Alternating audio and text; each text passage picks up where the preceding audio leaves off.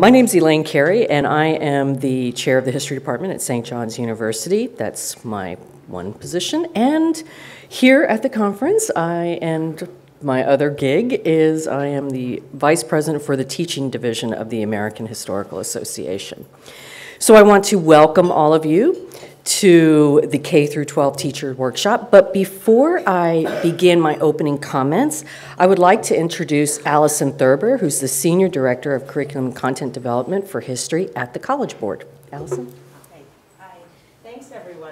Should come up here. Welcome. We're very um, pleased to be working with the AHA Teaching Division in uh, sponsoring this workshop. We know that the we know that there's a real need for this kind of education and kind of professional development to happen at the professional meetings, and we're so pleased and happy that all of you are here. We know that there's a stellar lineup of presenters. Um, I just all I wanted to say was that we have these little um, pamphlets right here. I want to pass one to each of you. They're kind of a rip off. Part of it you can uh, uh, take this apart, and this gives you just a little bit more information about the AP program and gives you some links about where you can go to learn more. And then on the other side is a little evaluation form for this session. And if you could complete those and at the end just put them on a back chair and we'll collect them. We appreciate that. It's nice for us to get a little bit of feedback about sessions that we help sponsor at the AHA, and we'd love to give you as much information as we can about the AP program and hope that some of you here already are um, AP teachers, and if there's anything that you need, me and several of my colleagues are here and happy to answer questions if you have any. Um, but I'll let uh, Elaine finish with the rest of the introductions. Thank you all for being here. Thank you, Allison. But before we begin, I just want to mention that this is being filmed, so if you have any questions, if you can please come to the microphone when you wish to pose them. Um, before I begin also, I just want to uh, recognize um, my two colleagues on the teaching division that are here. Peter Porter, raise your hand, and Brenda Santos who's also here. And Dana Schaefer, who has, um, is uh, staff at the American Historical Association and um, worked very hard to put this panel together. So I would like to welcome all of you to Food Will Win the War, a K through 12 educators workshop on teaching World War I. As a historian of crime, I'm interested in the flows of many commodities, including food. While my research focuses on drug trafficking, food has always been a tool of smugglers for many years. Opium smuggled in tea cans, Mexican heroin mixed in masa for tamales and dragged across the border, marijuana buried under fish along the Pacific coast, cocaine and heroin in Argentine and Chilean wine bottles destined for New York City. A couple of weeks ago, I stopped by John Jay College to see a good friend and mentor, Larry Sullivan. He recently published an art book called The Brownsville Boys Jewish Gangsters of Murder, Inc. In the course of our con conversation about my recent publications, his recent publications, he asked me about the AHA, and I mentioned this panel. And he told me a little, little story, which we, as historians, we all like stories. The Brownsville Boys evolved out of Arnold Rothstein's organization when it was broken up, and in kind of studies of organized crime, we call that fractionalization. And um, so the Brownsville Boys inherited part of Rothstein's work and they controlled the garment trade unions and rackets. They controlled allocation for housing in different parts of the city, gambling, extortion, fronts, bail bonds, prostitution, and murdering. So they were kind of a Walmart of vice here in the city. And by the way, just in case you were wondering, a hit ran for $4,500 in 1930. But another racket that they controlled was the flour racket. So when you bought bread in much of this city during the 19 teens to the 1940s, you gave a little to Rothstein or you gave a little to Brownsville Boys or other organized crime groups. So all of a sudden, World War I food and flour rations become even more complex if we start to think about the historical aspects. So food history is multiple faceted, multifaceted, and in this city, a constant changing theme. From the menu collections at the museums and archives and the photos of family restaurants, food represents one's culture, one's politics, one's social interaction, and for some, one's criminal enterprise. And guess what? Students like food and they like to study food also. So it is a pleasure to be here and to introduce our panel of experts who will address the history of food as it relates to World War I in this workshop, Food Will Win the War. So um, again, I would like to thank the College Board for sponsoring the event the Gilder Lehrman Institute of American History, the National History Day, and of course the American Historical Association, who were the co-organizers. I also want to just recognize too the History Channel, who's uh, had long-term support for the teaching division of the AHA. Tonight, today, our panelists include Julia Irwin, who is an associate professor at the University of South Florida. She earned her PhD in history from Yale University, and her research focuses on the place of humanitarianism in 20th century U.S. foreign relations. Her first book, Making the World Safe, The American Red Cross and a Nation's Humanitarian Awakening, was published by Oxford in 2000, uh, 2013, excuse me. It is a history of diplomatic and cultural significance of U.S. international civilian relief in the early 20th and particularly during the First World War. She is now working on a second book project called Catastrophic Diplomacy, a history of U.S. responses to global natural disaster. Helen Veit is an assistant professor at Michigan State University. She too specializes in U.S. history in 19th and 20th centuries, focusing on the history of food and nutrition. She received her PhD from Yale University in 2008. Her first book, Modern Food, Moral Food Self Control Science and the Rise of American Eating in the Early 20th Century, was published in 2013 by UNC Press, and it explores the origins of modern eating. She is also project director of What America Ate project funded by the National Endowment for the Humanities, a three-year project launched in 2014 to create a digital archive and interactive website focusing on American eating during the Great Depression. Tim Bailey, who, who's here in, in front, is the Director of Education for the Gilder Lehrman Institute of American History.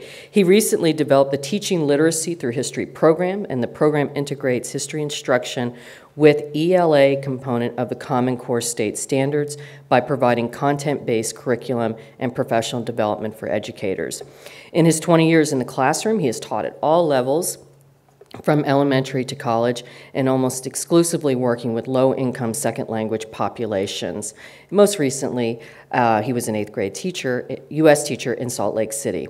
He has worked extensively, extensively with chief authors of the Common Core Standards and is recognized as an expert in its implementation. He's currently a fellow with America Achieves, as well as serving on Student Achievement Partners Fellow. Among his distinctions, he's University of, Utah Classroom Teacher of the Year, National History Teacher of the Year. He's also a Fulbright Scholar and a Scholastic Publishing Fellow. Amanda Moniz is the Assistant Director of the National History Center of the American Historical Association, and before pursuing her doctoral education at the University of Michigan, she worked as a pastry chef for several years.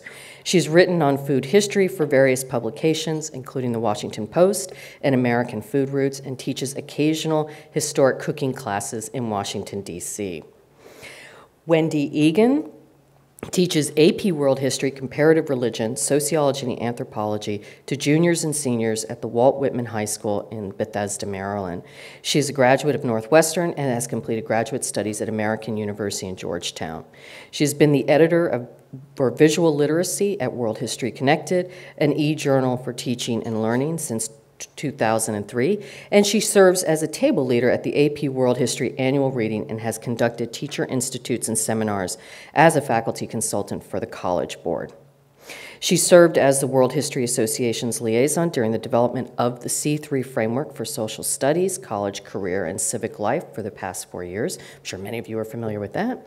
And she too is also a Fulbright scholar. Um, she had a Fulbright scholarship to the American University in Cairo.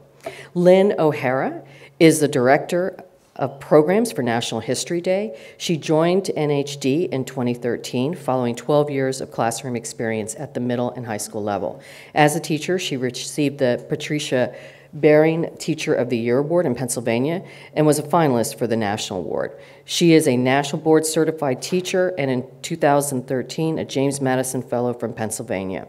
Ms. O'Hara has presented on history and education issues at Advanced Placement Summer Conference, NCSS, and the AHA, and she has published on education topics in social education. So please join me in welcoming our panelists.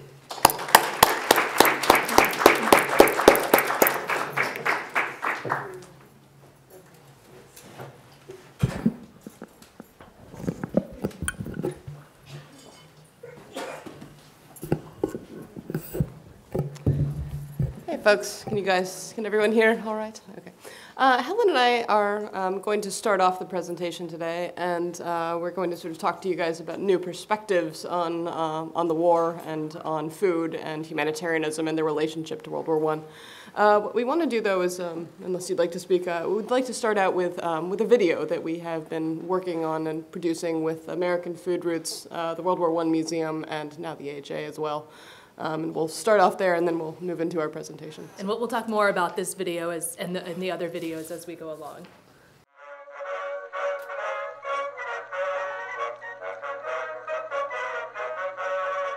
I'm Bonnie Wolf, managing editor of AmericanFoodRoots.com.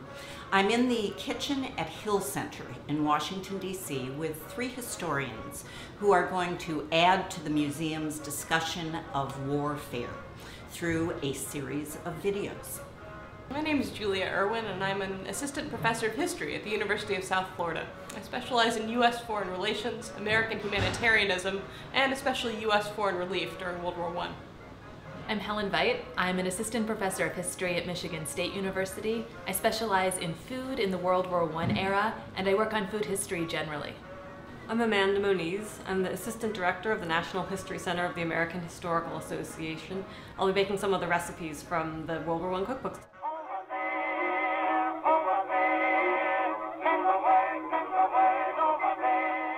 Americans had been affected by World War I before they even entered the fray. Is that right? Absolutely. Food aid to Europeans was one of the first major international food aid projects that Americans ever had. We often think about American entry into World War I starting in 1917, which is when the U.S. military entered the war. But the war itself had been going on since 1914, and Americans were involved in their kitchens. They were saving food to send to European soldiers and civilians. There was not a rationing system, but they were encouraged to voluntarily save their food to help European children and women and soldiers keep fighting. In fact, the war itself was hugely disruptive of agriculture in Europe. There were trains suddenly running through what had been farmlands. And one of the big stories is that millions of farmers left for the trenches to fight. So European agricultural production went way down and lots of people were going hungry. Yeah, so the United States became a major, uh, major supplier to the Allies, especially uh, to, to Britain and to France, supplying wheat for bread, supplying meat, sugar, these precious, precious sources of calories, fats as well. Americans were very humanitarian. American involvement the, in the war is not just military involvement. Humanitarian involvement is a type of participation in the war. And wasn't this around the time of the Progressive Era? Absolutely. The Progressive Era was a time of big social reform in general in the United States, a time when all sorts of people became interested in the idea of positive social change, in the idea of progress. And food was one big way that people tried to make changes and to reform things. Once America actually entered World War I officially in 1917, the president, Woodrow Wilson, created a mandate to make a U.S. Food Administration, which was a temporary wartime agency that aimed explicitly to export as much food as possible to Western Europe, both to allies and also to U.S. soldiers at that point. And that started a huge conservation effort mm-hmm. around the country, try to get Americans to eat less of the products that they were trying to export. Wheat, beef, pork, sugar, and butter. And I think it's also important to point out it was a voluntary effort. So Herbert Hoover, who was the head of the American Food Administration, um, decided that he didn't want to make this a legal mandate. So Americans were very much voluntarily encouraged to save food, to conserve food. They had housewives sign pledges saying that they would voluntarily conserve food And by the Food Administration's reckoning, about 70% of American families did that. And I think it's important to remember that children, too, uh, were really encouraged to play a role in the schools. They were encouraged to make gardens and to save food themselves, to, to collect and donate food. So children themselves become involved in the war effort in really important ways. In the upcoming videos, we serve a meal of World War I recipes. We start with date salad and peanut butter soup, go on to soybean croquettes and cornmeal rolls, and finally, braised tongue and mandalay salad. Dessert, maple cake, a meal from soup to nuts.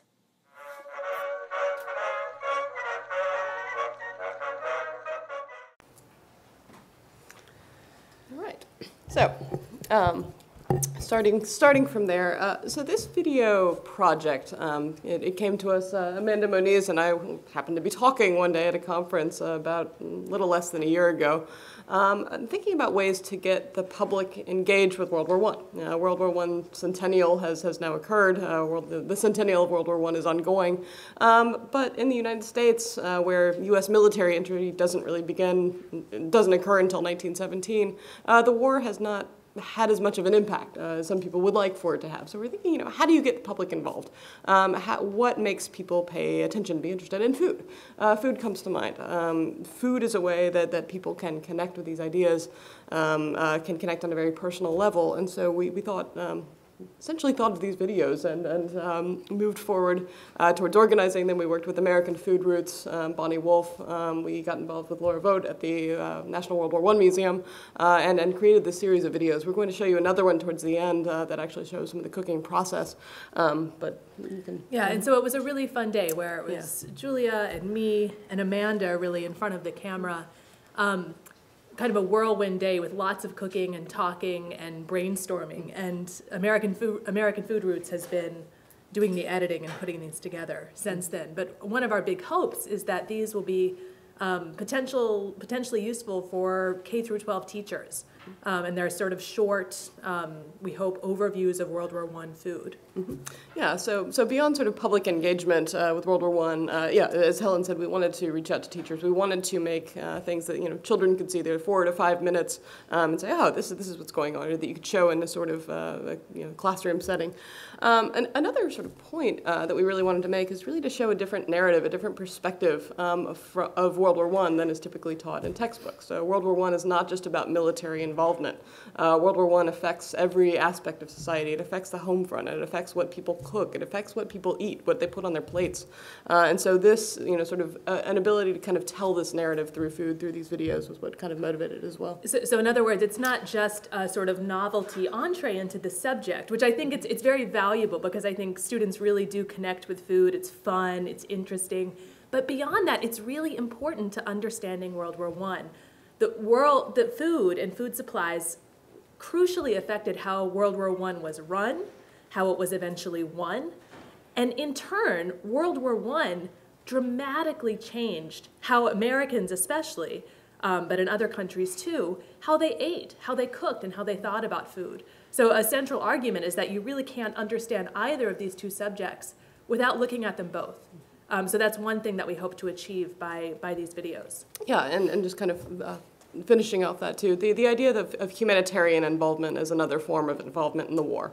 Uh, so wartime involvement is not just military commitment, it's not just on the dip diplomatic level, the military level, it's also through humanitarianism, through humanitarian assistance, uh, through saving food, through providing food, um, and so that's uh, these new perspectives we hope to, to kind of um, to talk about a little bit more and to encourage you guys to think about in, in your teaching. So. Um, do you want to sort of move on to the next? Yeah. Sure. So what we wanted to do, um, we both wanted to sort of share some new perspectives, some new ways of thinking about the war in a little bit more detail um, from our own research. Um, and we thought that kind of the best way to do this would be just a sort of a series of, of questions that we're posing to each other, so kind of a conversation. Um, and uh, feel free to, to ask questions, to jump in as, as we're talking as well. Uh, Helen is going to discuss uh, progressive era food history, uh, her area of expertise, and then I will turn to sort of humanitarianism and World War I foreign relations uh, more generally. Um, and two really do go together, uh, so, so don't think of them as, as divided topics. But um, so uh, we should start. Okay. Um, so, um, Helen, how did you tell me how? Tell us how you got interested in, in food history. yeah.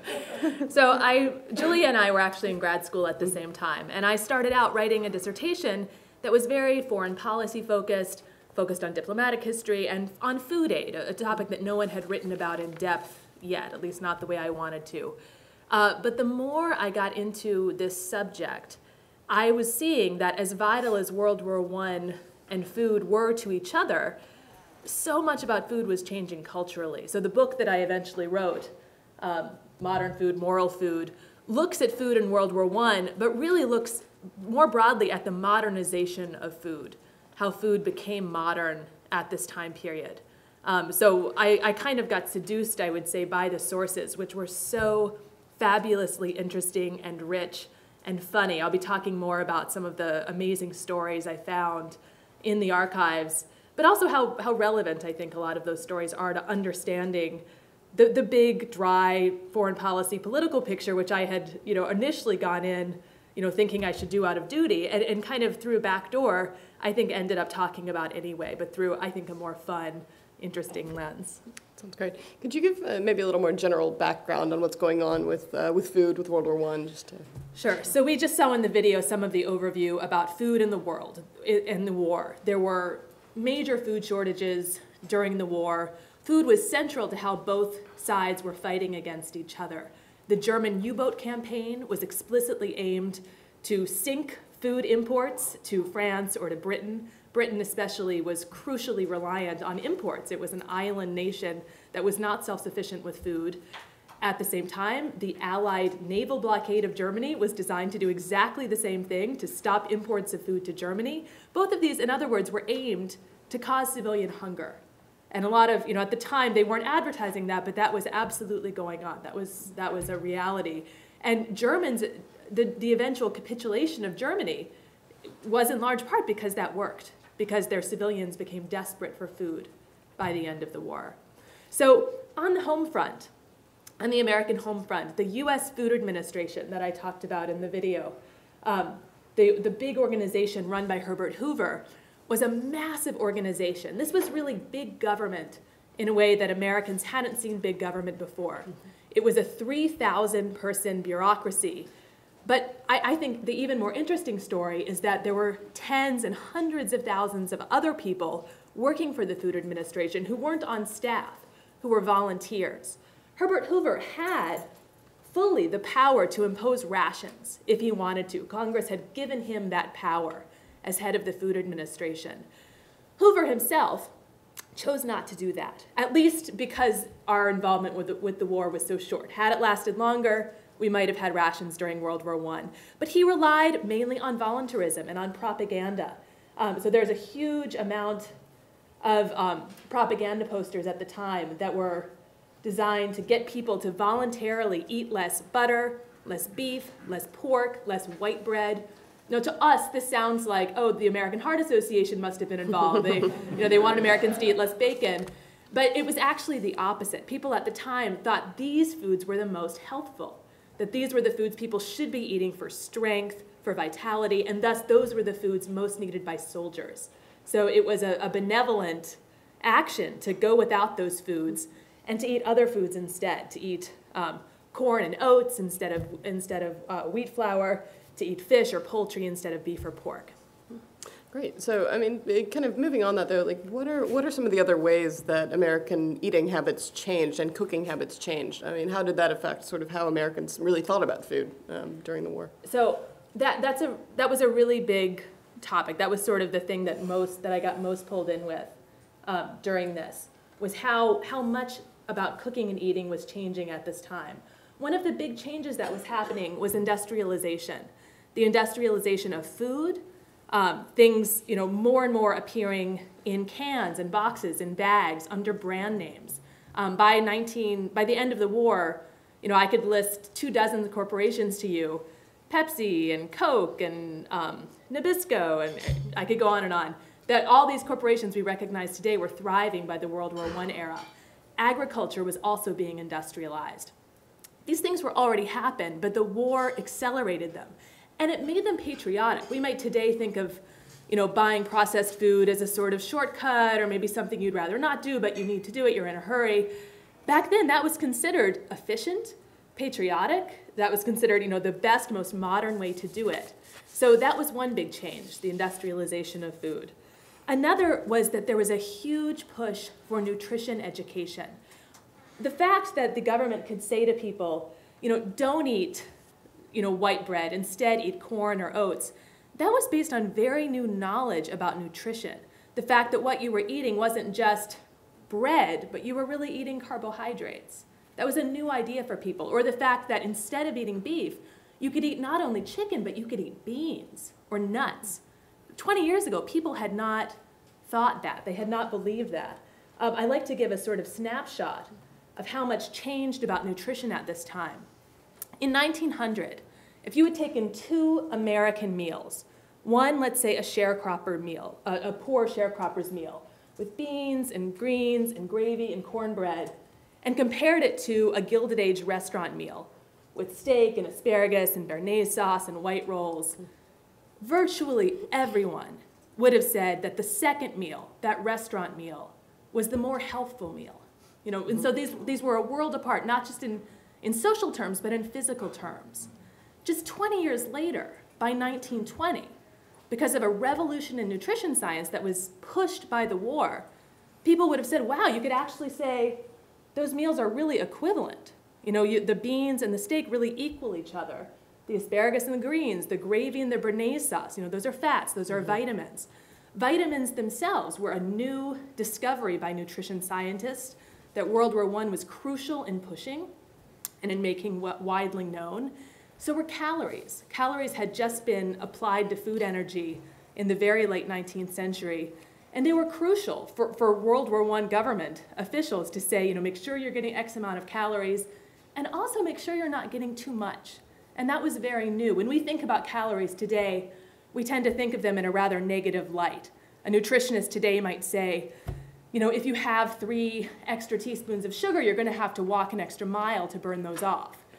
A nutritionist in World War I would have said, three lumps of sugar will give you the energy that you could walk an extra mile. You know, it, it's, it's, a very different, it's a very different way of conceiving of food energy. Um, but that, that too is changing. Um, and in fact, increasingly what people said is that you can, you can physically look at someone and tell if they've been wasting food or not. Because wasting food increasingly meant not just throwing it away or, or not making good use of it, it could also mean eating it when you didn't need it, eating it when it wasn't physically necessary. This was very new. The culture of thinness that we really see exploding into American culture at large by the 1920s um, really got a major push from World War I. Um, this idea that thin was beautiful, and also that thin said something about your character, that it indicated something about your ability for self-control, was so new. For, you know, for, for, for so many years, thinness and self-control had not seemed to be allied concepts. If you were thin in the past, it was much more likely because you, you were a hard worker, you worked you know, some manual physical job, or you were ill, or you were very poor. Um, and although you know, gluttony had long been condemned, this idea that, that self-control could be legible in someone's body was very new, and I think directly contributed to the explosion of the thin ideal by the 1920s. Um, the idea that extreme thinness was really beautiful. And it was, in fact, a necessary prerequisite for beauty, um, which, we, which we have seen since then, really, in American culture. Um, and again, just, just, this is one thing I love to show um, to my students when I'm teaching about this subject. This just shows you know, that, that it wasn't you know, an all or nothing attitude, that you know, this was really a turning point, but a lot of people still really valued fat and robustness by the 1910s. On the left, you see Reginald looked like this while his chef fed him caviar, filet mignon, pâté de foie gras. You might notice these are all these, you know, foreign foods, French foods, decadent, you know, suspect French foods. But now that he gets plain baked beans and fresh air, he looks like this. He's 50 pounds heavier, and of course, he's wearing a US Army uniform. Um, so he's been transformed from this effete neurasthenic on the left to this, um, you know, extremely hardy, vital, masculine figure on the right, as they would have seen it at the time. Um, so in general, this emphasis on self-control is one thing that I think was really um, a legacy of the war in many ways. Great, thanks.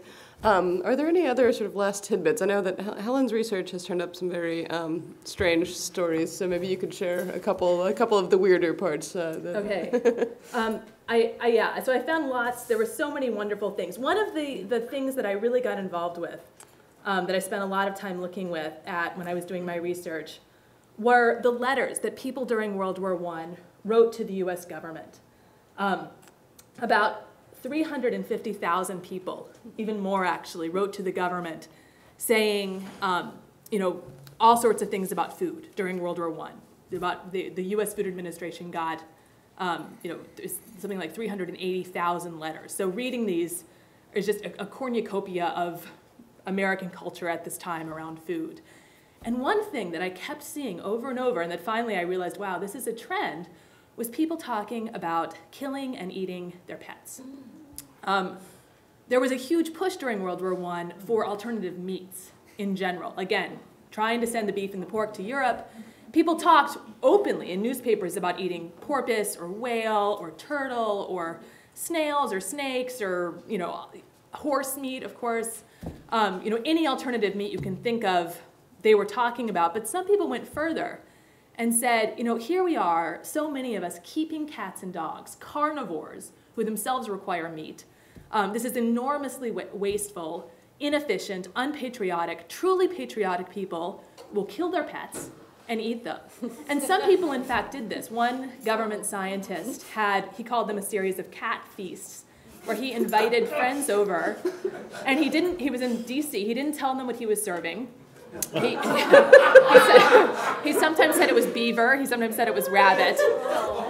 And he would serve them food. He, he, he, he always got the cats by just finding alley cats. Once he served a purebred Angora, but it was usually alley cats.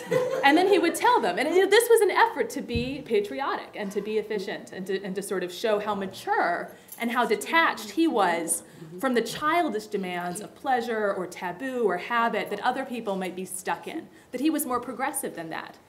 Um, he was joined by Harvey Wiley, who you may not have heard of, but he, in the progressive era, was an extremely famous scientist, probably the foremost expert on food in the country. He was the architect of the Pure Food and Drug Act. He strongly advocated doing this. Not many people did it.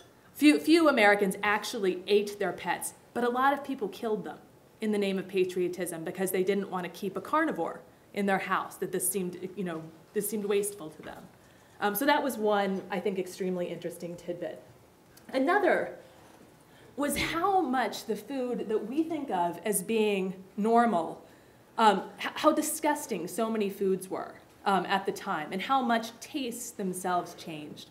Um, a lot of the foods that I saw people really trying to get people to eat, that people didn't want to eat, that they thought was disgusting, included cottage cheese, this you know slimy, clumpy white stuff that people you know a, a byproduct of um, you know of other dairy production that people at first really rejected. Another that surged into popularity that had been widely reviled as this sticky, gritty, kind of nasty, unknown, you know, suspect mass was peanut butter. And that became hugely popular as a result of the war. Another was um, this kind of horse feed that some people made into a mush and ate, called oatmeal. Um, and the fourth was this uh, paste that some foreign people ate when it was dried and they boiled it, called pasta. Uh, and in, in fact, foreign foods in general got an enormous boost from the war effort. There had been widespread interest in foreign foods in earlier decades in, in US history, but especially in the progressive era, a lot of people said these are objectively disgusting. They're all these foreign foods. And you know, this was an extremely you know, limited way of looking at what foreign foods were, what counts as foreign. But, but, but as people then, as, as some people then saw it, um, you know, foreign foods were all mixed together. They were stew, they were stews or soups or goulashes or casseroles. It was hard to digest. How could the body really know what it was getting when all the ingredients were mixed up? Um, but World War I government officials said these are really good because they're meat stretching. You know, add a little bit of meat to a soup, it's a satisfying meal. And so they really pushed for foreign foods. And by the end of the war, um, you see pasta dishes, casseroles, goulashes, these same foods appearing all the time in mainstream US cookbooks in a way that they hadn't been in earlier decades. So anything else to add, or I think? uh, Not for now, but I over? would, I would love to, you know, I hope in the Q and A we can talk um, more. So I wanted to ask Julia some questions too. All right. Um, First of all, can you just talk about your research generally and your book? Yeah, so um, as Helen said, we were, we were in graduate school at the same time, uh, and then we're writing our dissertations at the same time. Um, my book, um, Making the World Safe, uh, is less directly about food than Helen's, but food is everywhere in my book. Um, so my book uh, focuses really on how and why. Uh, the U.S. government and its citizens um, came to uh, provide aid to, to the world uh, in the early 20th century, and then especially in Europe during World War I and its aftermath. Uh, on the one hand, I focus on uh, how, how during the war and its aftermath, really this moment of increasing U.S. global power uh, and, and sort of influence on the world stage. Uh, this is a period in which the U.S. government realizes, um, kind of for the first time, the value of humanitarian aid as a tool of statecraft, as a tool of diplomacy, as a sort of way to win hearts and minds throughout the world. Um, but it's not just the government. At the same time, uh, the sort of cosmopolitan group of Americans, uh, American physicians, nurses, uh, social workers, uh, just everyday individuals, uh, but also social scientific professionals. Um, all of these people came to take part in humanitarian aid and really to see it as a way to participate in the international community in new ways, to sort of share ideas about medicine, to share ideas about science, to provide assistance um, to the world. Um, finally, I look uh, sort of at how just ordinary, everyday Americans, um, you know, reacted to humanitarian aid. How they came to sort of see humanitarian aid as an important part of, of their lives, uh, giving, you know, giving a dollar, joining the Red Cross, uh, taking part in food drives, things like that, um, and sort of thinking about their connections uh, with the world and, and what they, as Americans, could do in the world. Um, my focus in this book uh, is really on the American Red Cross. Um, the American Red Cross at this time uh, was the dominant player uh, in American overseas aid and assistance throughout much of the war uh, and into its aftermath as well. Um, the organization hadn't really uh, had that much attention, uh, though, until I started researching it. Um, I really focus on the sort of significance of the American Red Cross, uh, its activities uh, to U.S. foreign relations, to U.S. international history, and to the social history of the United States at this time. Um, during World War I, which is really, again, the peak of the, the organization's involvement, um, the American Red Cross had something like 22 million adult members and 11 million child members. Uh, so 33 million, this is about a third of the US population at the time. Uh, so just thinking about the sort of cultural significance of this organization, uh, it raised literally hundreds of millions of dollars, uh, this, this huge war fund, uh, to finance um, humanitarian efforts during the war. Uh, during the war and its aftermath, um, uh, tens of thousands of American men and women, especially, uh, served overseas. Uh, they served in over two dozen European nations. Uh, they were in Russia, they were in France, they were in Italy, they were in uh, the Near East as well. Something like 19,877 nurses went abroad as, in a Red Cross uniform. And so thinking about these people's um, efforts in the war, I think, is really important. Um, thinking about the sort of ways uh, that the American Red Cross took part in the world. Um, but we can extend this too. It's not just the American Red Cross. Um, groups uh, such as the Commission for Relief in Belgium, which was one of Herbert Hoover's uh, early campaigns. Uh, groups like Near East Relief, which joined uh, missionaries who were already serving abroad. Um, groups like the American Relief Administration after the war, which was the US government's first uh, official and formal governmental humanitarian aid program. Um, all of these organizations uh, joined the Red Cross and really uh, raised and distributed billions of dollars worth of food, uh, medical supplies, clothing, uh, and other aid for Europe, reconstruction assistance as well. Uh, this aid affected millions of people. Uh, it affected millions of um, American and European soldiers, uh, but also European civilians, uh, civilian men, women, and children, again, from all parts um, of, of, Allied Europe during the war and um, the former Central Powers after the war.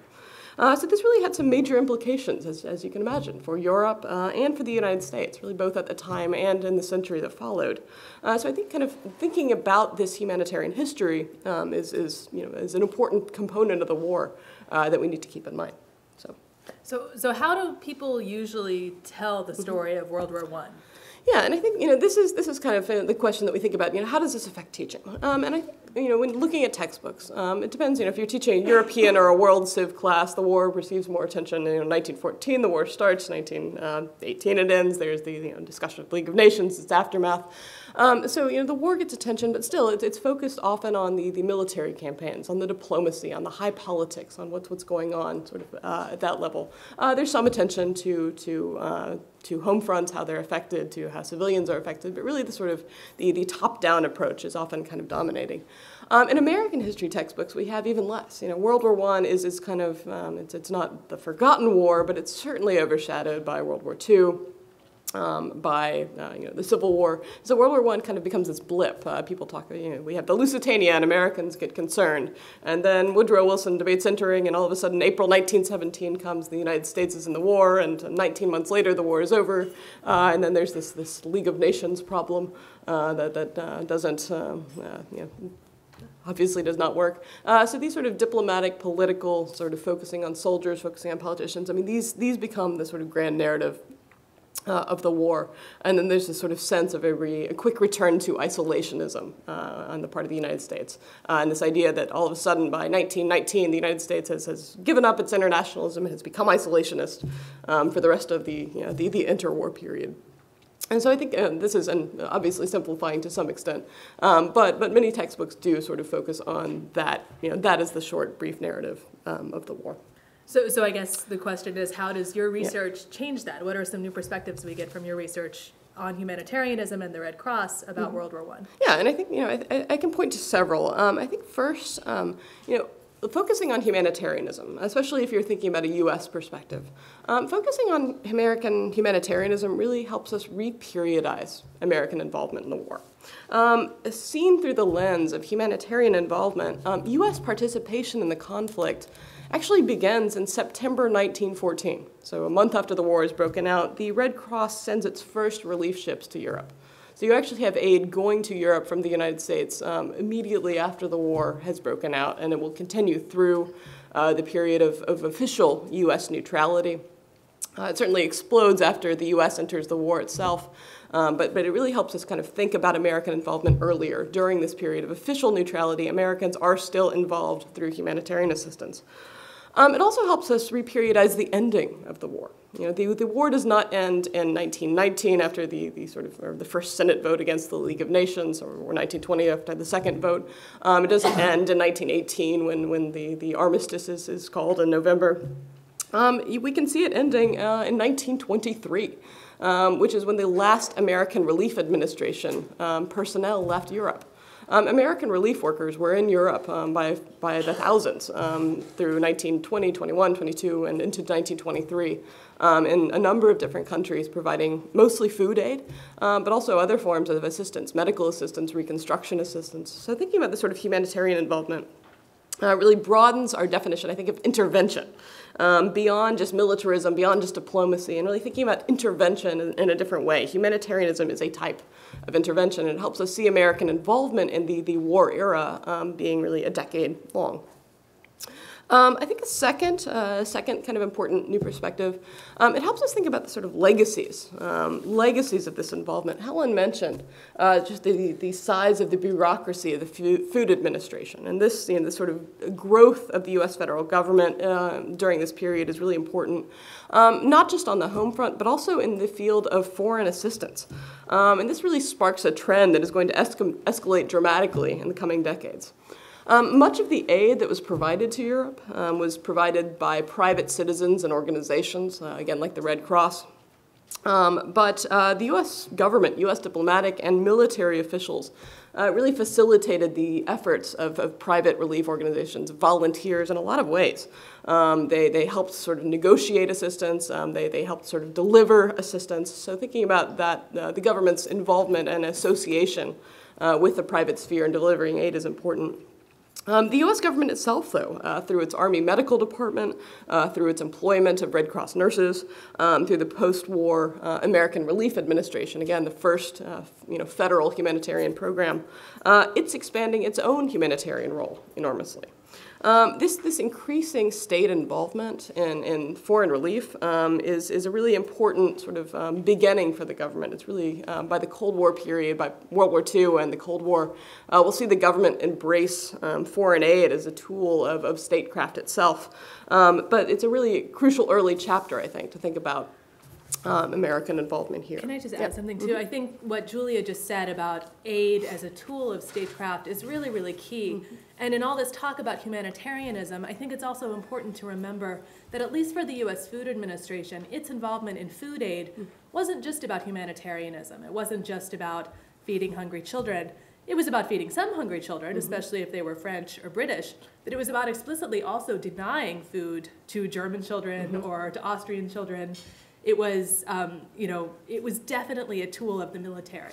Um, and in fact, it was even more complicated than that, because it wasn't even food aid in, in what we might think to our allies. It was loans. The Allies went into deep debt during World War I to buy food from the United States. These, they, they were going into debt. And this was one major factor that made the US, after the war, so powerful, a creditor to the empires of Europe. After the war, Herbert Hoover not only returned the $150 million that Congress had given him to run the Food Administration, but he also turned over an extra $50 million in profit uh, because he was charging high prices. And he said, you know, the US Food Administration cost the government over $50 million less than nothing. And I think that's important to remember that this is aid, but it's complicated aid. Um, it's aid with, with real strings attached and only to certain people. Yeah, and I think that's that's a really great point. And kind of thinking about those those you know the, the political and strategic aspects of, of food um, is is really important. Um, I think just one sort of one last sort of new perspective, and I think maybe in some ways um, um, perhaps the most important um, is really uh, it makes focusing on food, focusing on uh, food aid and humanitarianism. It helps us and helps students really think about uh, the war in new ways. The war is not just about soldiers fighting. It's not just about these sort of diplomats and policymakers who are making decisions. Uh, it brings in new actors, and especially women and children. Uh, into the history of the First World War. Um, as I mentioned, sort of tens of thousands of American women and men um, spent time in Europe as relief workers, not just as soldiers. Um, many of these people served in areas where U.S. troops never deployed. Um, so we actually have Americans, um, and the American Red Cross was actually wearing American military uniforms. Uh, so we actually have people who look like they are American soldiers, but they're in fact uh, women and men uh, in places like Serbia, um, in southern Italy, and um, in the Near East, and, and Civil War era Russia, um, sort of showing America's presence. Um, but we can study these people. We can see that Americans are in other places. They're not just in France uh, or in the sort of Western Front. They are uh, throughout throughout Europe. Uh, at the same time, uh, we can see that in the United States, um, people are taking part in the war effort through humanitarianism. Millions of American adults and children uh, supported these efforts. They volunteered their time, they donated money to humanitarian organizations, uh, and many, as we've been discussing today, simply did acts like conserving food or changing their eating and cooking habits um, in an effort to help win the war. Uh, so Americans, sort of of all stripes, really bought into the war effort through humanitarianism. And I think uh, these, these women, uh, these, these, and, and, male relief workers as well, but, but girls and boys, children, uh, really play an important part um, in, in this history. Um, and we need to sort of recognize that. It helps us have a more, uh, a sort of a personal understanding of foreign relations. So U.S.-European relations are not just happening at the, at the top level, um, they're happening at the ground level. American relief workers are forging really, really tangible personal connections with, with millions of Europeans. Uh, these are the people who are, who are they're touching, they're, they're soothing, they're, they're feeding, uh, they're providing medical aid to European men and women and children as well. Um, they're, they're taking part uh, in, these, in these relief efforts and they're making these sort of personal connections. And I think, again, this helps us kind of rethink the, the, um, the, the uh, intimate nature in some ways of U.S. foreign relations. Uh, yeah, or So can you talk any more about women or children's involvement? Yeah, and I think um, kind of uh, expanding a little bit more. Um, you know, as I mentioned, you know, we can we can focus on women and their social uh, role in the world. Uh, I think Helen did a really good job already, sort of talking about women as as um, you know um, you know, being in some ways the sort of conservators of, of food, and, you know, housewives especially. Um, this becomes, you know, a housewife's duty. She, she is not going to be serving in the war alongside soldiers, but she can do her duty by making sure that her family follows things like meatless Mondays and wheatless Wednesdays. And, and this is a way for women themselves to get involved in the war. Um, I mentioned the nurses who went abroad as well, um, but we can, we can study these women, we can study the women who worked for organizations like the YMCA. Um, these all give women a way to take part very actively, whether they're on the home front or going to Europe in the war effort. Um, and a final sort of uh, thing, and I think this, you know, for especially for K through 12 teaching, helps us to get students involved. We can really focus on what children were doing. Um, Helen already showed a few sort of the posters of the children who are involved in the war effort, um, but, but children really are. They're, um, they're involved in their schools. Um, one of the organizations that I study in my research was the Junior Red Cross. Uh, as I mentioned, it was 11 million children. This is half of the school-age population uh, enrolled as Junior Red Cross members. Um, and during the war, this meant that they were taking part uh, mostly through their schools in relief activities. Uh, a lot of children in many cities throughout the country, cities and towns throughout the country uh, in, in the Junior Red Cross, they did things like planting school gardens. Uh, they organized plays uh, they, uh, to, to raise money for the war effort. They, they um, uh, organized and, and bazaars, you know, they would, they would bring in you know, items, you know, essentially garage sales from, yard sales from their homes uh, to, to raise money for the war effort. Um, thinking of the way that children were getting involved and interested in the war effort, I think, is a really important component of this as well. And it's a way to kind of connect with students, show, you know, students during, uh, during World War I were taking a very active part in the war effort themselves. Um, so it wasn't just, you know, wasn't just the, the adults who, who were involved. So. I think um, with that, maybe I'll maybe I'll leave it off. Great. Do you want to add anything? Or? No, that's that's great. Okay. Um, just to kind of close off, what we wanted to do uh, just so one more of our of the videos that we actually began with. We, we began with the introductory video, and I want to show you one of the content videos. Um, our hope in making these, there's, there are four content videos. Uh, there's, there's the sort of, you know, this is a meal from, from beginning to end.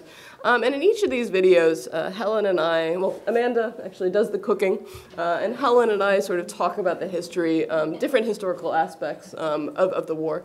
Um, and what we, in choosing the recipes, we kind of chose, tried to choose things that people could actually make at home. I mean, some of this is, you know, parents with their children, uh, but some of these things could even be adapted for, for you know, classroom use. Um, the, the, the second thing that we eat here could, you know, you could imagine sort of um, younger children at least, you know, rolling the dates, and then I don't know what the, the food health, uh, health code violations here, but, um, you know, you might, you know. yeah. So again, these are all safe, recipes but. that are adapted for these World War I food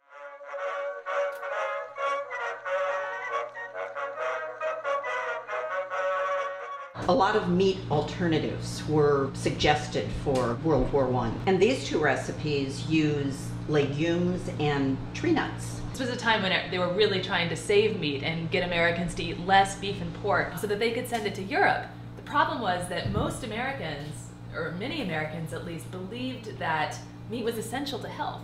Uh, they didn't have a great understanding of protein, um, you know, that you could get protein from nuts or legumes.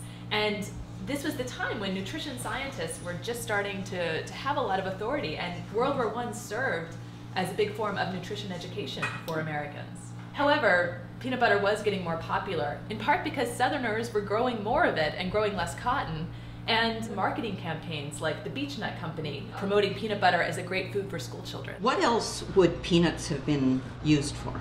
Well, in, in, the World War I era, you know, as a meat substitute, they were used in things like peanut loaf, which would have been seen as a substitute for meatloaf. It's not that necessarily peanut butter was, was healthier than meat, but had the same nutrients, had protein, had the fats. Um, and the idea was that meat should be saved for soldiers, especially strong men who needed to eat red meat. This was a real opportunity for nutrition scientists to talk about the fact that different foods contained nutritive components, that it wasn't just steak, but it was it was proteins and fats, and you could get those same proteins and fats from eating lentils or nuts. And, and that was really new. It was a very new way of thinking about food as containing constituent elements. This is good. It, it, it does definitely challenge yeah. my sort of genre of soup because it's not particularly salty. It's, it is quite sweet. And, when did the peanut butter and jelly sandwich start? By the 1920s, I'm seeing a lot of references to it, both for school children and also as a recommended cheap, healthy lunch for workers. A lot of these cookbooks have recipes for cream cheese. Can anybody explain that?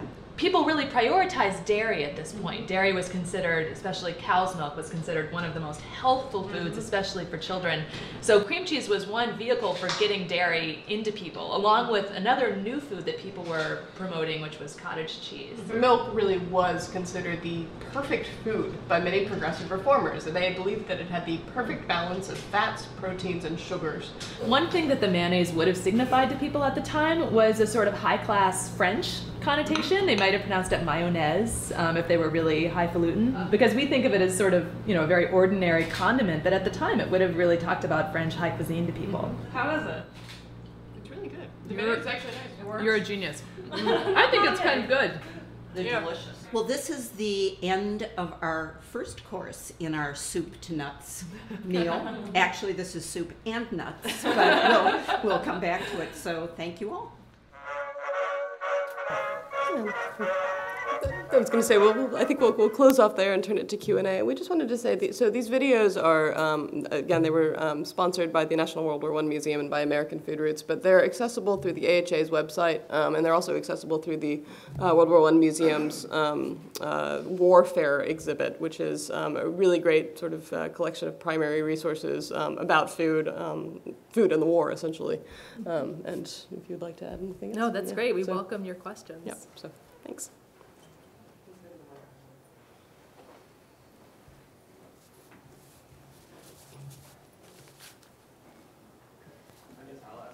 Right.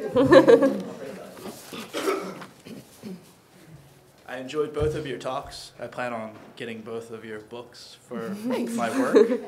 Uh, I studied the Roosevelts a lot, and um, they, although in World War II they were involved with the Red Cross, they were more involved with the YMCA. And the YMCA now is so far from where it was 100 years ago. So could you speak to the differences that you found between the YMCA and the Red Cross in World War One? Why you went more with the Red Cross? Yeah, that, that's a great question. So, so the Red Cross, um, it's trying to trying to tell it quickly.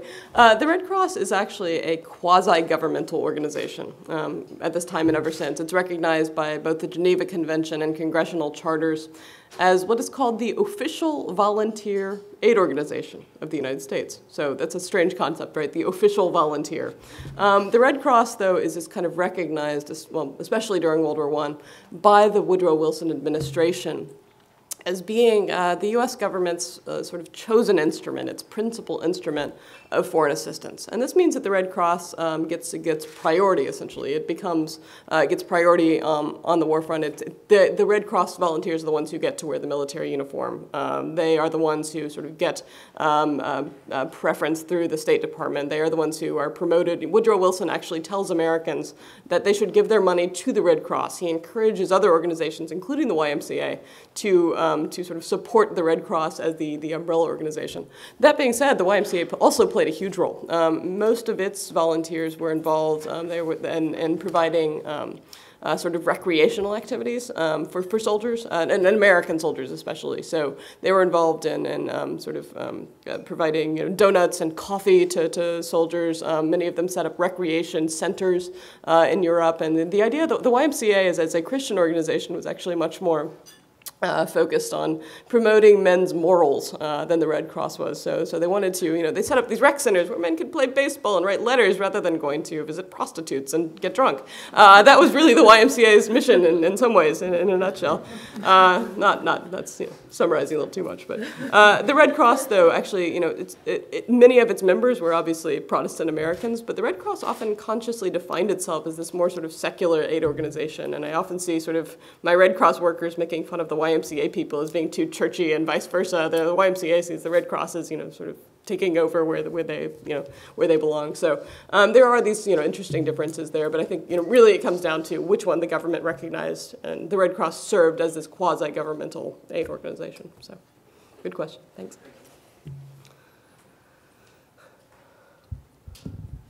Good morning. Thank you very much um, for your talk. It was very interesting. Um, I do have a question. Um, in your research, um, what what did you find about the perception of Europeans to the food assistance, in particular, uh, France and women in particular, because of their looking at food not being able to provide for their own families? Um, I think you know the, the experience of war for Europeans was you know was was devastating, especially for people in areas where there just wasn't enough food. Um, and, and I should say that the U.S. government talked a lot about the starvation of the Allies, and the Allies weren't starving, but there were places where Western food shipments were the only bulwark against starvation. Um, you know, in some in some areas, in other words, it was it was really dire the food situation.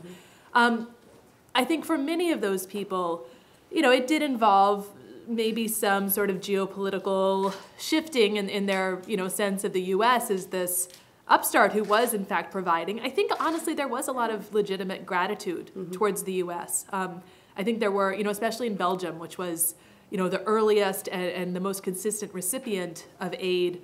Um, you know, I think people were sincerely grateful. This this was really a new idea too, the idea of food aid. Um, I also don't think, however, that it was this sort of um, you know revolution in people's thinking about you know how how how could mere you know little America over there provision us. You know, I, I think it, you know I think most people who were getting aid were probably people who before the war were were you know relatively poor farmers who who you know were just grateful to have it.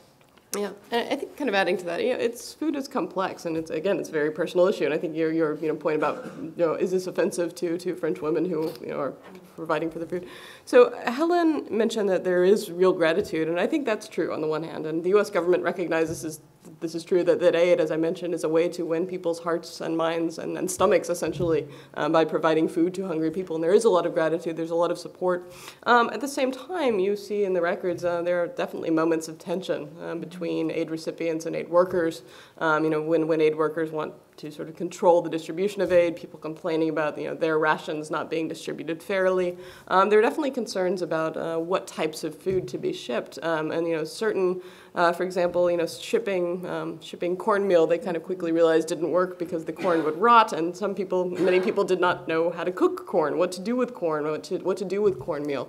Um, so sort of, um, you know, in some cases, relief workers recognized the need to be culturally sensitive and work with communities. In less uh, successful cases, they didn't and tensions certainly did arise um, over those issues. So, thank you. Thank you.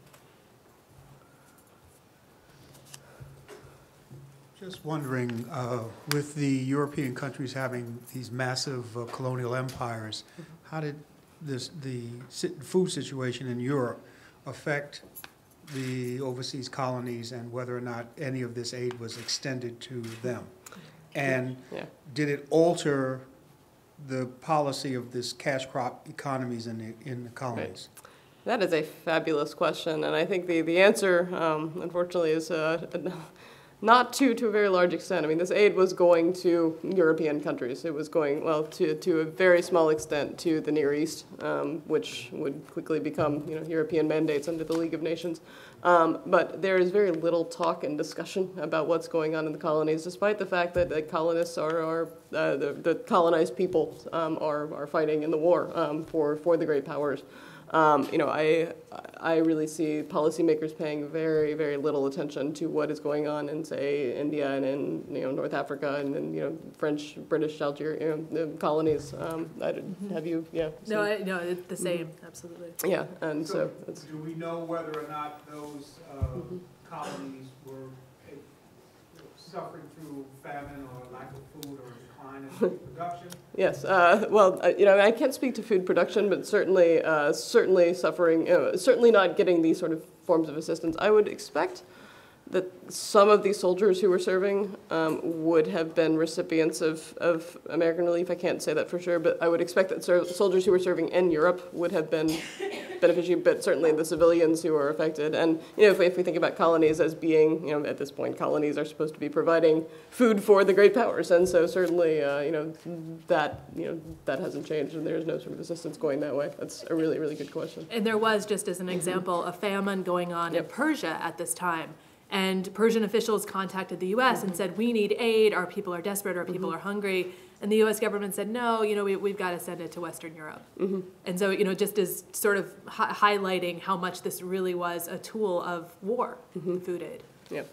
And and where priorities lie. I think, I mean, and that points to this really, you know, humanitarianism becomes you know, people choose, they, they prioritize, right? And so the priority is to win the war, um, especially, and then to, to stabilize Europe in its aftermath. And this is definitely the priority of policymakers and, and you know, many of the relief officials as well. So.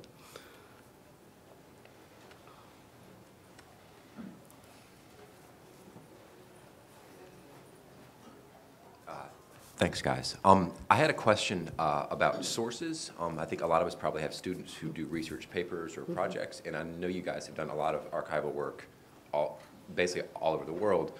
But are there accessible either books that have been published or online sources that we could point our students to, or even ourselves to for sort of classroom activities that could use primary sources?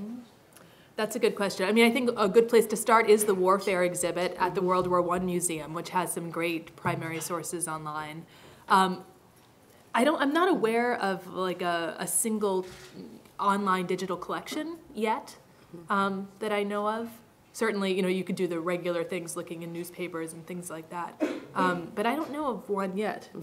Well, I think uh, one of the things I was going to suggest, um, so the cookbook that we have up there, that is that is digitized online. Archive.org has a lot of digitized war materials, um, cookbooks, things like that. Um, the Red Cross published lots and lots of manuals, pamphlets, and those are actually accessible at archive.org. Um, posters are a simple way to sort of show um, propaganda efforts to show the way that food is being depicted. Um, that, that you know, Helen already showed a lot, but these are actually very sort of accessible, and, and um, a lot of them are through the Library of Congress. Um, the Library of Congress's digital image collection actually has a lot of, of posters that are um, good to look at too. So. Yeah.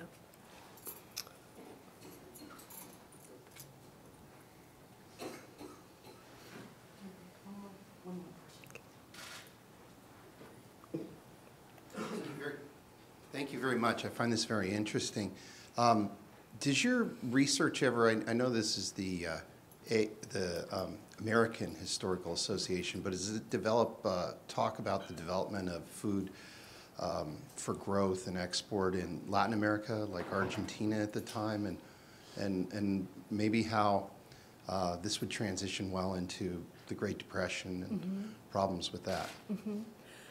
A little bit. I mean, I work I work mainly on the U.S. for this project, but Americans were increasingly involved with, you know, a globalized network of food, you know, including very much from Latin America and South America, um, and imports of wheat from those from those countries and places was becoming important.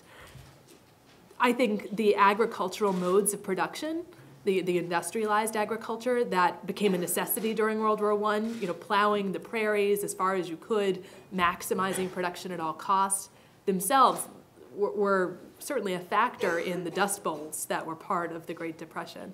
A lot of people point to the, the mass industrialization of agriculture as a big factor in that. Well, thank you, uh, Julia and Helen, that was fantastic. Um, So now I would like to recognize Wendy Eagan, Tim Bailey, and Amanda Moniz, who will talk about Food Will Win the War, Approaches for Teaching World War One. Yeah. We can do, the- yeah, this might be. Oh. Should we move that one?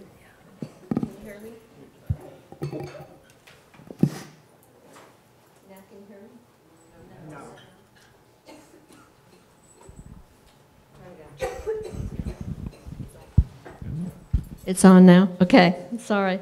Good morning to all of you. Um, since this is the K 12 workshop, I'm curious about the audience. How many of you actually teach World War I to K 12 students? Great. How many of you teach it from the framework of U.S. history, European history, world history? How many of you teach it from more than one dimension, let's say? Okay, that's been my experience too. I teach in a high school outside of Washington, D.C., in Bethesda, and I've taught AP Euro, AP US, and now I'm teaching AP World. So the way we frame it is going to be different for each of us. I've prepared um, two handouts. If you didn't get one, there's plenty up front. Come on up and get one a white one and a gold one. Okay? Um, I'm just going to read a little introduction. It's on the back of the packet. Here go.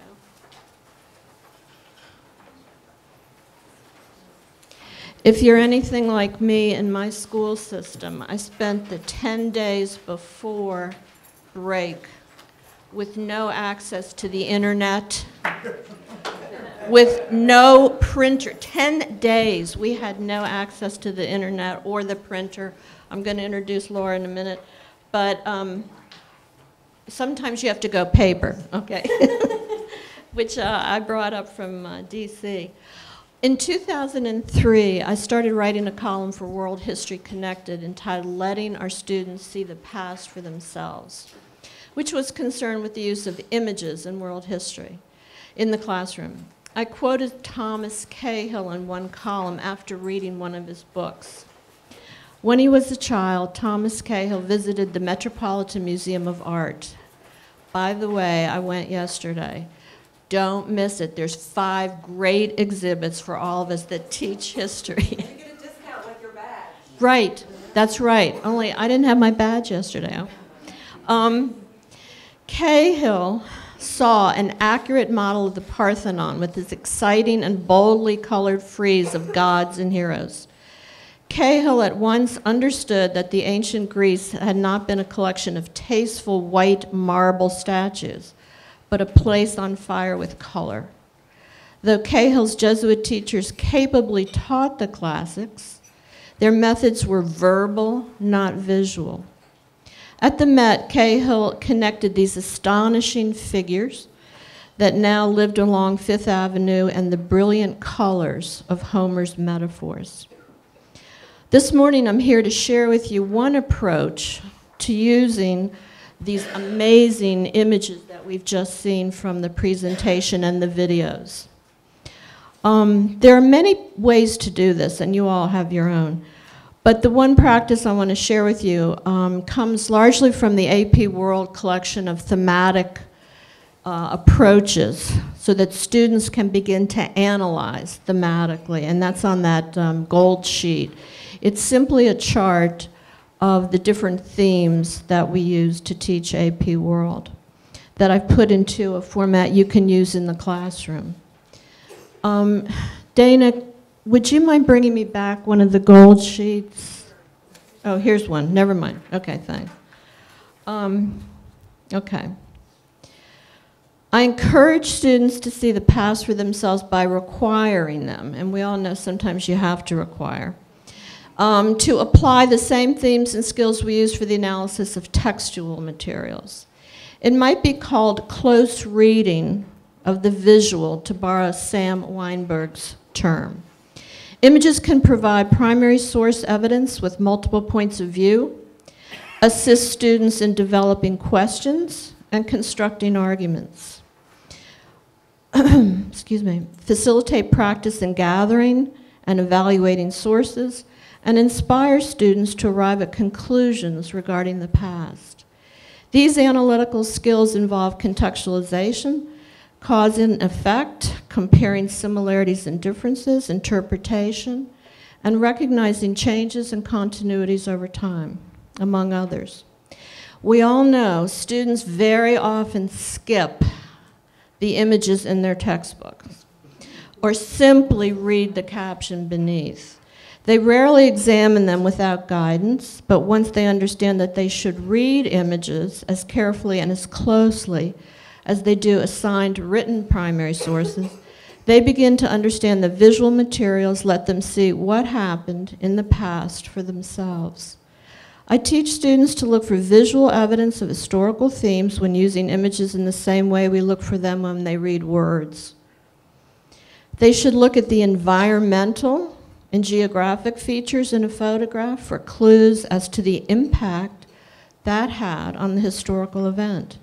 What indications of social status or political affiliations are displayed? What cultural symbols are present in an architectural structure? What economic forces um, are at work in the image?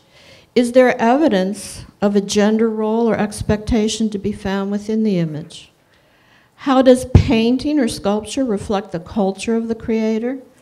Why do people revolt or resist against political or economic authority? These are the types of thematic questions that can be applied to these great images that we've seen this morning. So what I did for this presentation was to use the World War I Museum. And um, I put together a set of images. I have many more that I'm going to have Lora talk about at the uh, end. So I'm just going to walk you through what I put together as a little collection for you to see the amazing resources. On the front of the packet, I gave you the um, website, and the images that I've taken today are from the Interactive Timeline, which is a remarkable resource. And there's an online database as well. The man who was asking about resources, I think, actually um, was going to this question. Is he still here? I think he kind of left. Anyway, oh, there you are. Okay, so here are the resources. Um, and at the bottom, Lora's going to talk about Warfare, which is an online, digitized, um, wonderful part of the collection there. So what do I have here? Okay, so let's look at this gold sheet. The gold sheet is simply, as I said, the wonderful framework for analysis from the AP World Course. The very first theme is the relationship between man and the environment and that goes to demography, disease. It fits in very well with food. Where do you grow all these foods? I have to say, I will never hear the phrase cat's paw again and not think of you all. Um, migration, paddles, patterns of settlement, technology. What is the technology that produced this food is a really interesting question, whether it's in feeding the colonial soldiers, which we really focus on in, in world history, or whether it's the economic plight of these people who were eating a more healthy diet, even though we thought it was less healthy at the time. The second theme is um, the development and interaction of cultures. Um, state building, expansion, and conflict. Too often, I think, as you were mentioning, these textbooks take the purely political approach to explaining warfare. There's more, I think, recently on the home front than there used to be, but it's still pretty political um, narrative. The creation, expansion, interaction of economic systems, we've heard about that. And then the social aspect. I'm very struck by what you mentioned about children because I find, and I'd be interested to hear from some of you who teach, my students are so interested when I talk about kids in history. They're really, really interested in that. And when you think about the outbreak of World War I, it was the murder of two parents. And then later in the war, an entire family was eradicated in Russia. So there's this whole social element um, that is really interesting in terms of feeding children. And the women in Europe who were not able to provide food for their families are contained, some of their plight is contained in this set of images. So I went through this extensive collection and I put together a few, and I'm just going to walk you through it.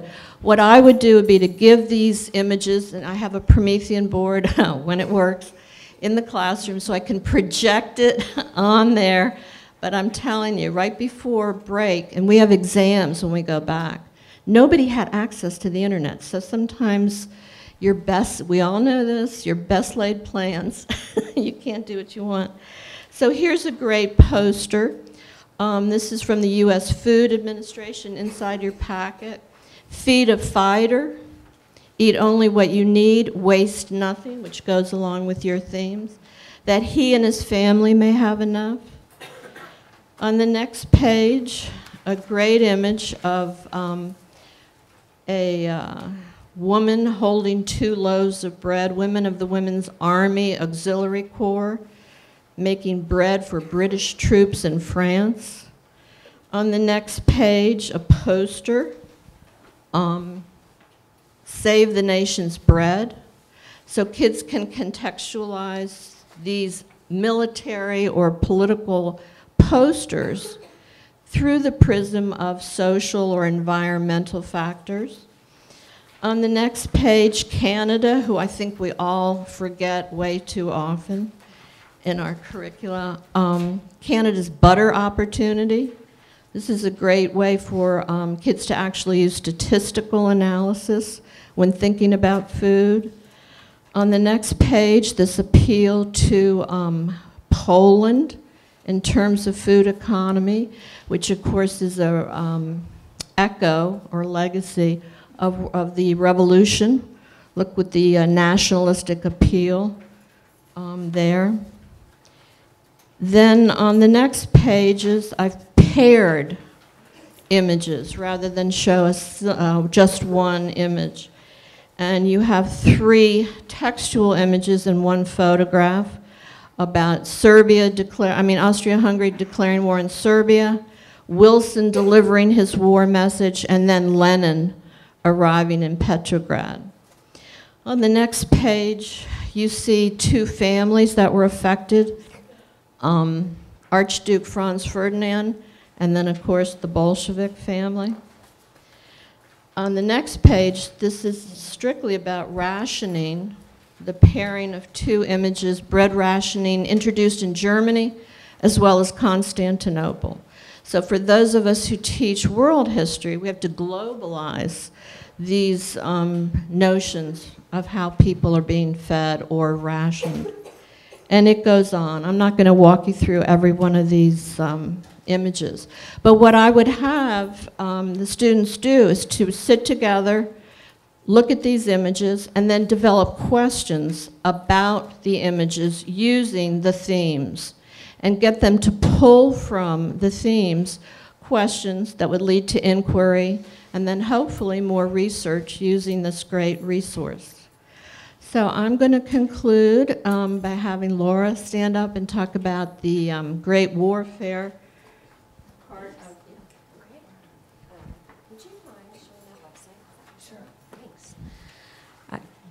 Good morning. My name is Lora Vogt. I'm the curator of education at the National World War I Museum. Uh, and it has been an honor to work with all of these folks for, I think, the last year plus. About two years ago or more, uh, we started a digital exhibition, a, a, new schedule for digital, digital exhibitions. Uh, with a new website, we could do a lot more um, robust and interactive things.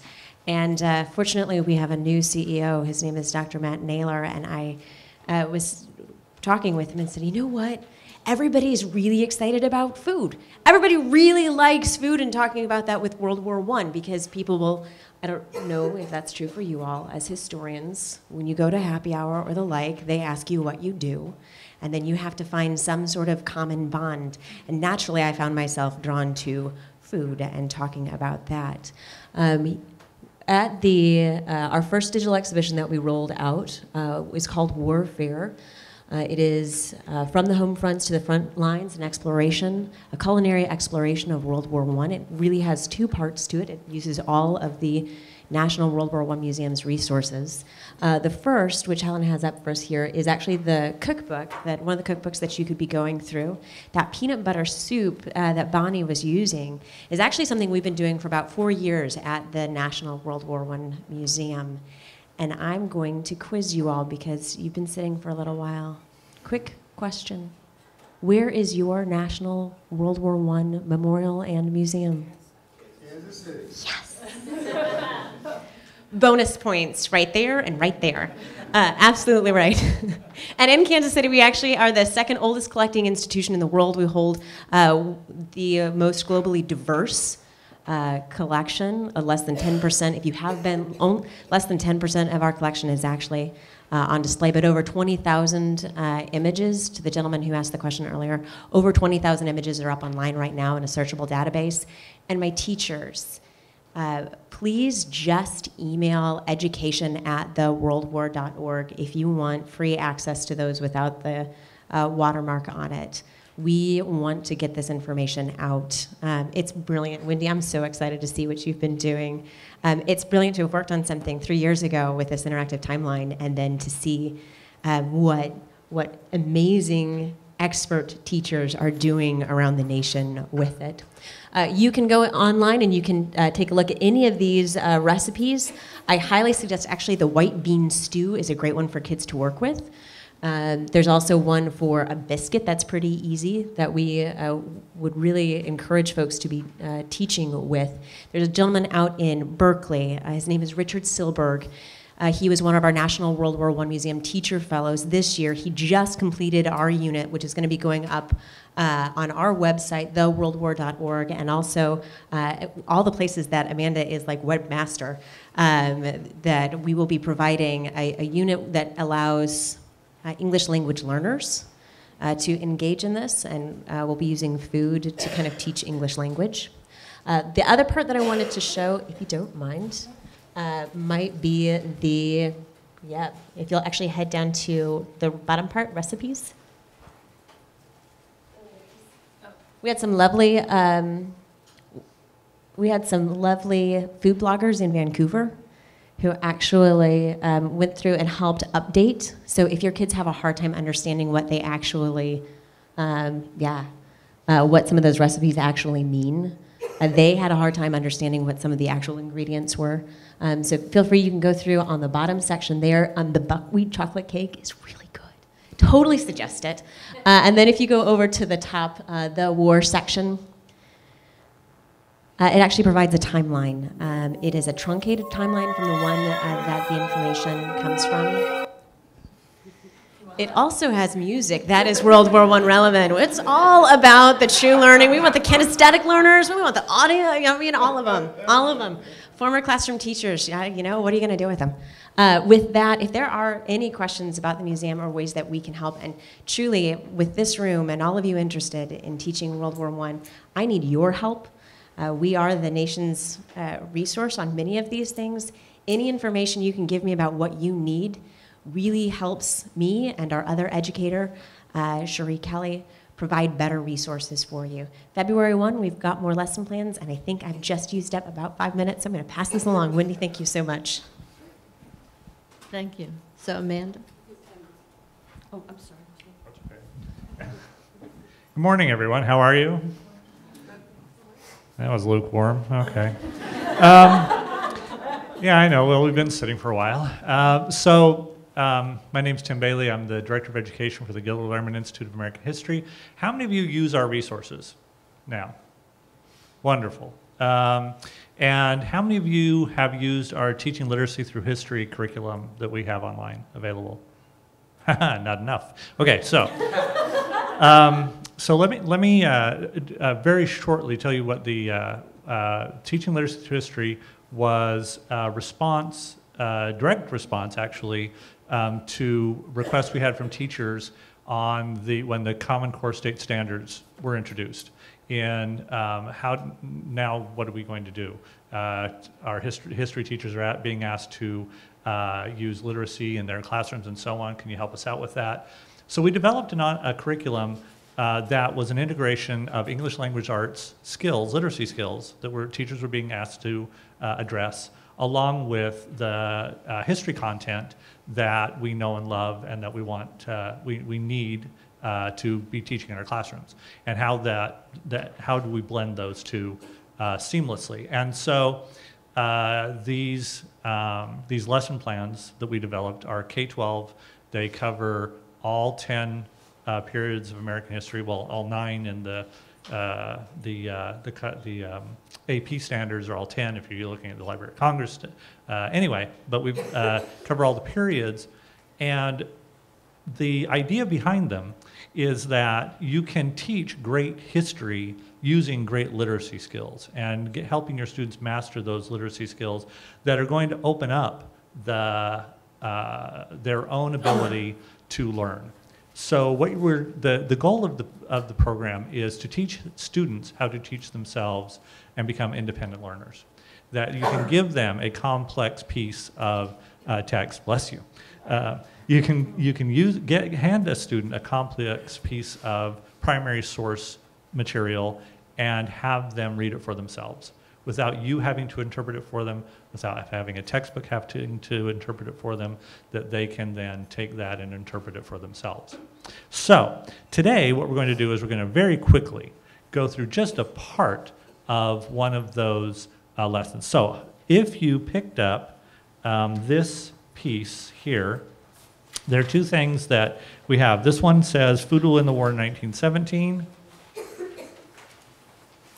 And this one that says World War I posters in the collection of the Library of Congress here.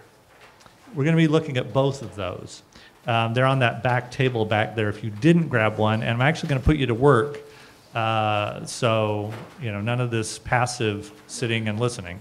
Um, so, this piece here um, has, a, has a short introduction and some, uh, some discussion questions at the bottom.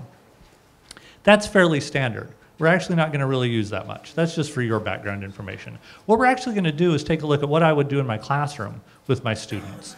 And that's this. Oh, by the way, if you, uh, on your way out, or if you've already got it, um, this poster um, here is, uh, is on the back table. Uh, please take one with you when you leave. Um, this is from our, uh, the Gilder Lehrman collection. Uh, for those of you who aren't aware, Gilder Lehrman has a collection of right around 65,000 primary source documents in American history, a very large uh, uh, part of that collection are images, and this is, uh, this is one of the ones that we, uh, that we have in our collection that we've made into a poster, which, um, which we're going to be using to, for this lesson today. So, here we go. This page here, we're going to start with this. When working with your students, um, one of the things that we want to do is we want students to, of course, cri um, become critical thinkers for themselves without giving them too much. Uh, and so what you really want to do is you want to lay the foundation and you want to, you want to teach the students up to the point of introducing, say, this image. So this is not done cold, right? I mean, you've been teaching a unit on, let's say, uh, leading into World War I um, or it could be even on the progressive era, right, leading into World War I.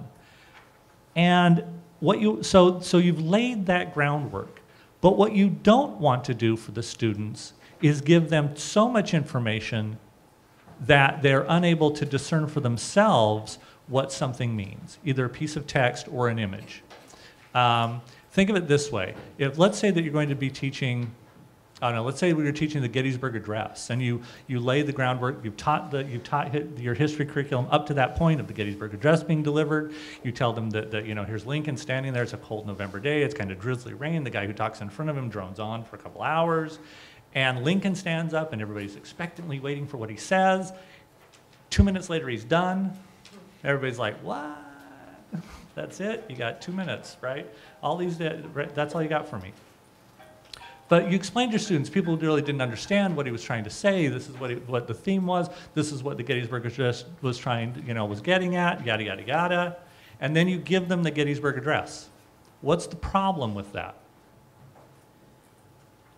What did we already done for your students? Yeah, if you ask them to write about the Gettysburg Address, what are you going to get back? Yeah, exactly what you said, right? And you're going to feel brilliant right? Wow, they obviously understood exactly what Lincoln was had to say. No, they understood what you had to say about what Lincoln had to say. So the idea is to lay the groundwork for work for the student, but let the student draw out the meaning. So that's what this, this activity is trying to do. So let's take a look at this. Introduction. Um, during World War I, the impact of the poster as a means of communication was greater than at any other time during history. The ability of posters to inspire, inform, persuade, combined with vibrant design trends in many of the participating countries to produce thousands of interesting visual works. As a valuable historical research, uh, research resource, the, the posters provided multiple points of view for understanding the global conflict. As artistic works, the posters range in style from being graphically vibrant works by well known designers to anonymous broadsides predominantly text. Okay, I'm not going to read all this because if you turn the next page, this is what your students would have in front of them. They wouldn't have that piece I just gave you. They would have this. Because if you look at that first text box, what's in that first text box? Right, it's exactly right. It's the it's what I just read. Now, what you want your students to do is now this is of course a secondary, right? This isn't primary. There are times, you know, people say, oh, you have to teach with primary sources all the time. Yes, I agree. Primary sources are it, right? That's the thing. However, we live in a real world where you got to go from A to B relatively quickly in some cases, right? And so a good secondary source is, is a way to make that happen. But that doesn't mean you don't have to use the, do the skill work with your students, right? You can actually teach them how to pull good meaning out of secondary materials as well as primary materials. So that's what we're doing with this piece. So if you go ahead and take a look at that. So I just read that piece. Now, next to it, in the, the box to the, uh, the right of that, it says, using specific examples from the text, explain the purpose of World War I posters and why posters were effective. That's what you're trying to get your students to do, is discern from that chunk, pull out the, the right. Now, here's the thing. And this is, this is where it make, it's different now than it used to be. In doing that, one of the things I'm going to tell the students is, you have to cite where you're getting that evidence from, right? What is the textual evidence for your conclusion? That's the difference. That's the big difference, is that the student has to prove why their answer is, uh, makes sense to them. And so, in, so, and that's the, that's the caveat. So as you go through this with them, you're saying, yeah, draw your conclusion, but now show me the evidence. What is your evidence for, draw, for that conclusion you just, you, you, you've come to? So if you go through this, you'll notice that there are uh, these te- text boxes that take them through those. There are different questions that they would answer. Same idea through all of them, though. And again, they have to have textual evidence for whatever conclusion that they, that they draw. Now,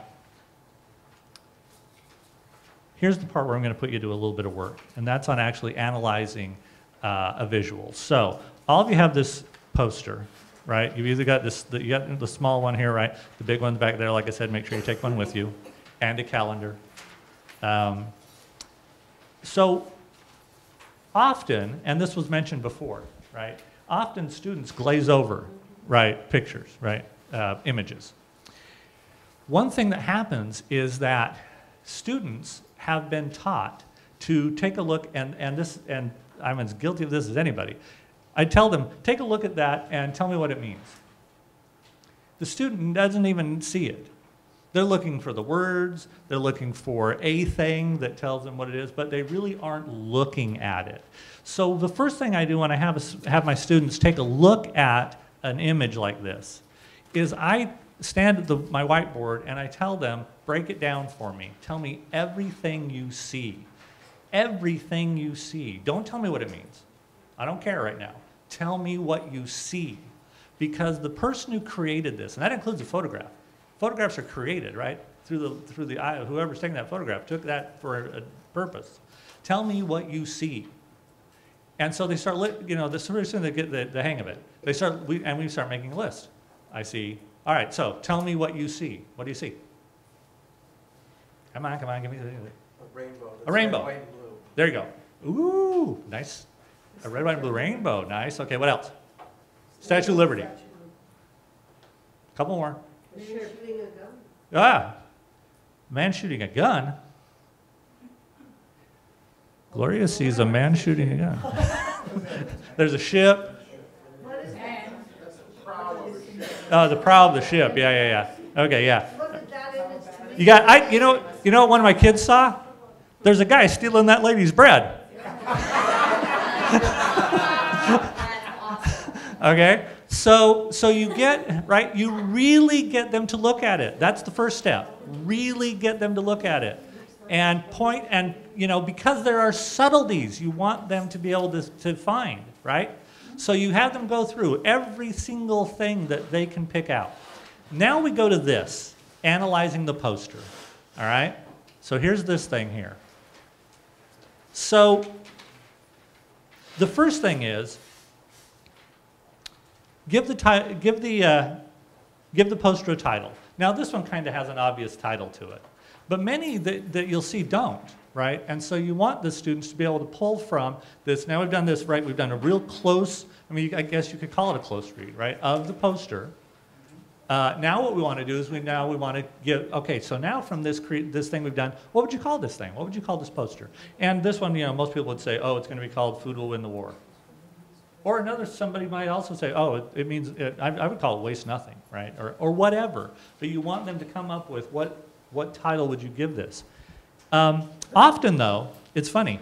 Often I'll take that piece and save it to last because we'll actually we'll do the analysis of the poster and then go back to what you would call it because sometimes that changes because after they really take a good look at it and do these next steps they say oh wait i would change what i would call that just because of you know how we've looked at it so anyway so next thing what is the significance of the central figure or figures or objects so first of all you got to pick out what are the what's what would you say is the central figures or objects in this in this uh, poster so how many people would say statue of liberty is an central object a few Somebody give me something else then. Okay, people down in the corner, all right. Okay. The guy stealing the bread. Yeah, I like that, yeah, yeah, yeah, yeah. Um, so you have the students, where are you focusing, right? You want them to know where the students are focusing. Now, the one thing about image interpretation is, it gets a little iffy on right and wrong answers. Since, it's since somebody's interpreting something, you can have more right and more wrongish, right? I mean, but you really you want to leave the students free to to pull out the meaning for themselves. Um, a lot of this this work, and you'll see this in a lot of our lessons, is group work because I want students talking to each other, not just to me, right? So I put them in groups uh, because I want them to bounce them those ideas around e with each other. And then that kid who says, Statue of Liberty and the other kid says the guy stealing the bread, have to have a discussion about that, right? Why? Why do you think that that's right? Um, okay, next, what action is taking place in the poster? What's the action going on here? Yeah, there. I mean, obviously we're at a, right. We're at a harbor. There's a ship. Looks like it's coming in. So the act. I would say the action of this is a ship coming into port, or you could say a guy stealing bread. That's an action. Um, so you got you, but you have the you know you want them to get. So what's the what's the action? What's the thing that's happening? What's what's going on? That's really what you're after with this part of it. What what do you see happening in this poster? Um, now this next one is actually one of the more important ones when it comes to imagery, interpreting imagery, and that is what is what mood or tone is created by the poster. Now a lot of times people will leave it at that question. Oh, Okay, so for you, what mood or tone is being created here? What would you say is that? Optimism. Optimism. What else? Patriotism. Patriotism. Good. What else? Hope. Right. Um, so. Sharing. Okay. Because the guy is not actually stealing it; she's giving it to him. Um, so the. But now this is the important part. What is creating the mood or tone? What in the image? See, yeah. So it's, it's, uh, it's kind of a pastel kind of thing, right? So it's, it's got a calming kind of a feel to it. It's not aggressive, right? Um, yeah, yeah. You also have, though, right, if somebody said patriotism, they could point out the rainbow, right? Well, it's red, white, and blue. You could also say the rainbow as far as hope, right? So the idea is you want, this, you want the students to recognize what is it, how is this making you feel? But then what you want to do is you want to make the students realize what is making them feel that way. Okay, that's important because that part often gets left out. Why is that making you feel like that? In that photo, what is making you feel angry? Um, and then, uh, what is the message the artist is giving uh, to the viewer? So take the words out, just look at the picture. What is the message the artist is, give, is sending?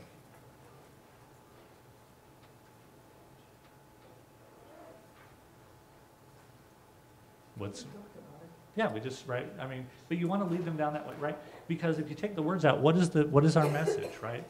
Our message is hopeful and it's sharing and it's, um, it's a caring kind of a thing. And it's also, that's an immigrant population just because of the dress, right? So that's important to bring out too. Uh, and then uh, the last thing, what's the theme of the poster? Um, again, this applies a lot when you're talking about posters that don't have a lot of uh, text with them you still want them to be able to pull the, the, the, the, uh, the, the theme out of that. Um, so I know that was a really quick run through, uh, but this particular, uh, this particular unit we have um, actually has about 20 different uh, posters, World War I posters. Um, and uh, if you haven't, again, I'd encourage you, if you haven't checked out uh, our teaching literacy through history curriculum online, please do so. Um, also, just a quick plug, we have about 6,000 affiliate schools across the country. If you're not an affiliate school, cost is a little prohibitive. It is free.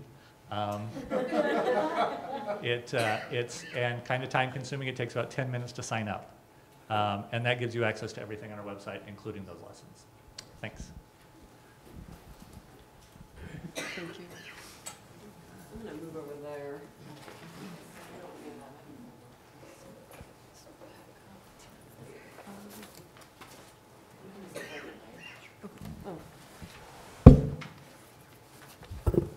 You all hear me?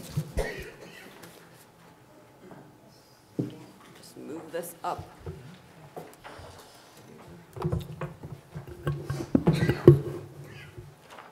Hi, everyone. Uh, As Elaine said, I'm Amanda Moniz. I'm the Assistant Director of the National History Center, which is the program arm of the American Historical Association. And as uh, Elaine mentioned, before I went to grad school, I was a pastry chef for several years. Now, when I went to grad school, I thought I was leaving my cooking career behind me. I continued to cook and bake at home, but I, I thought professionally that that part of my life was just over. Then about a year and a half ago, it just suddenly dawned on me that in fact I could use historic recipes and cookbooks as another means to teach history and to excite people about history. And that's what I want to talk about with you um, this morning a little bit.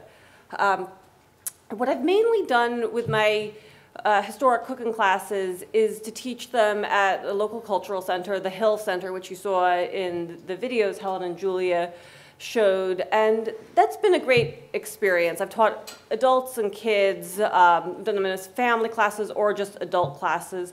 I also visited a, a girls' school in Washington and did a hands-on cooking project with them from one of the first, from the first uh, African American cookbook um, to teach them about uh, Civil War African American experiences. And, and again, that was a great experience. But one thing that I found frustrating is when I've done these um, occasional classes at the Hill Center or visited the school, it, was a one-off experience, I think, for the kids. There wasn't the groundwork and there wasn't any kind of follow-up. And I, so the way, you know, the, the way to use historic recipes to, to really integrate them into a curriculum is to have classroom teachers do it, experienced classroom teachers who know more than I do about teaching um, elementary or middle or high school students and who have the opportunity to develop the background and, and then to follow up, of course. And so I'm, I'm hoping that you'll consider working with historic cookbooks and uh, doing some hands-on cooking uh, projects. And, and I'm here to say that it is possible for you to do this in your classroom, even if you do not have an instructional kitchen in your school. it, it, it, can be done. Uh, so let me uh, first start by uh, pointing out, um, all right. This, um, this is, shows where the videos are, if you want to look at these videos that, that we saw. They're on the American Historical Association website under the um, teaching and learning tab, and then you'll go down and you can find the, the these. Um, the rest of the videos are down here, and um, let's see. And if you follow the videos, the recipes are, are on the American Food Roots uh, website along with the videos. So this is one option for, for getting access to recipes.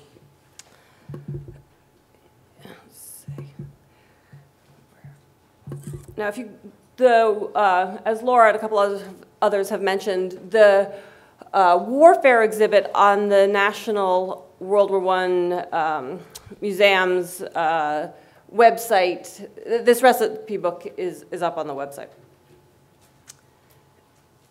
Uh, the, the cookbook's on the left, and then the recipes that Lora were pointing out were over here.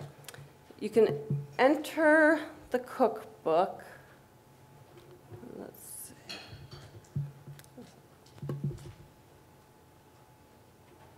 Sorry. Sorry. Okay. But first, first let me ask, has anyone ever worked with historic recipes or cookbooks with their students? Okay. Yeah. So, so not many uh, people have. The cookbooks are a great primary source for studying all aspects of American history. Um, I'm not as familiar with foreign cookbooks if you're teaching a world history class, so I am afraid I don't know where to point you for that, although Helen perhaps may have some ideas. Um, these cookbooks can be used like other primary sources to explore topics. Uh, in the case of this one, if you look through the introductory material, and there are several pages of introductory material in the cookbook, like just like there are in your cookbooks you might have at home. You know, cookbooks typically have an introduction. These are rich sources for understanding how people are thinking about uh, their time period, um, you know, in this case, the war. You can learn about um, public, the shaping of public opinion, women's roles, uh, Wilson's leadership, uh, how he projected himself as a leader through these cookbooks. Uh, that's in the introduction of the cookbook, and then in the introductions to each of the sections, there also is some um, you know, introductory material that can be analyzed you know, the, the way you would analyze other primary sources uh, to understand the time period. And see, see, what you can do at, at home. And these, these uh, are really uh, captivating accounts that, uh, you know, of encouraging women at home to think about how they're cooking to play a role in the war. In addition, you can of course use the cookbook as a cookbook. And so why do I think this is valuable for helping to teach history? There are a few reasons. The first is that it gives, making a historic recipe gives students a sensory experience of the past. It's not going to be the same as eating a rest, as something would have tasted 100 years ago, or if you're using an older cookbook, a couple hundred years ago, because ingredients change. You're going to have to make little adaptations for modern cooking, but those are some things you can talk about with your students. Why are we making adaptations? How are we, um, you know, is, is it authentic, or, you know, are we changing, um, you know, the primary source. It, you know, it, it, forces students to think about questions about primary sources and interpretation when they're working with a recipe. But it, but it does, um, at the end of the day, give them a sensory experience of the past. And so it's exciting and engaging in a way similar to um, reading a story. It captures the imagination through, um, through the taste buds and the feel and the smell in a way that, you know, dates just aren't going to excite some, some students. That's one reason. Another reason is um, it gives students an experience of the labor, what, what labor was like in the past. Uh, now, a lot of these recipes use um, modern technology uh, more similar to what we have. It's not obviously the same as the technology you would have in your kitchen today, but some of them are using, um, you, you, know, um, um, electric mixers or electric choppers and things like that if you use um, older cookbooks or some of these recipes, depending on what the recipe is, you will be doing more manual labor, and that does give students um, a sense of what labor in a kitchen was like 100 years ago or 200 years ago. Uh, in one of the classes I taught at the Hill Center, we made uh, beaten biscuits, uh, which are a traditional mid-Atlantic Maryland dish, and it involves beating biscuits for an hour. No kidding you, an hour. this was before, oh, we did it for about half an hour, but it's, um, this was before chemical leaveners like baking powder and baking soda uh, were, were, really widely embraced. You, you beat the thing, and it, it, amazingly, I, I, really didn't think this would, I, I, honestly didn't know what would happen. I, I, was so skeptical, I don't know if you've made them, but it actually, um, beating them breaks down the, um, it creates a chemical change that, that um, causes the, the biscuits to, to rise the way baking powder causes it to rise. But by beating for an hour, you get the, um, uh, an understanding of how demanding women's labor, in this case, this was from an African American cookbook, you know, of enslaved labor or free black labor. And, and that's, that's the kind of um, thing you just don't get from, from reading a textual source necessarily. So the experience of labor is, is another reason, along with the sensory experience. And then another reason is that um, content. Uh, this is, as Helen and Julia were explaining to us, we, eating wheatless and meatless meals was an important aspect for Americans on the home front during World War I. There were uh, strategic reasons, uh, cultural reasons, and so on. People were encouraged to do this. You get content through the recipes.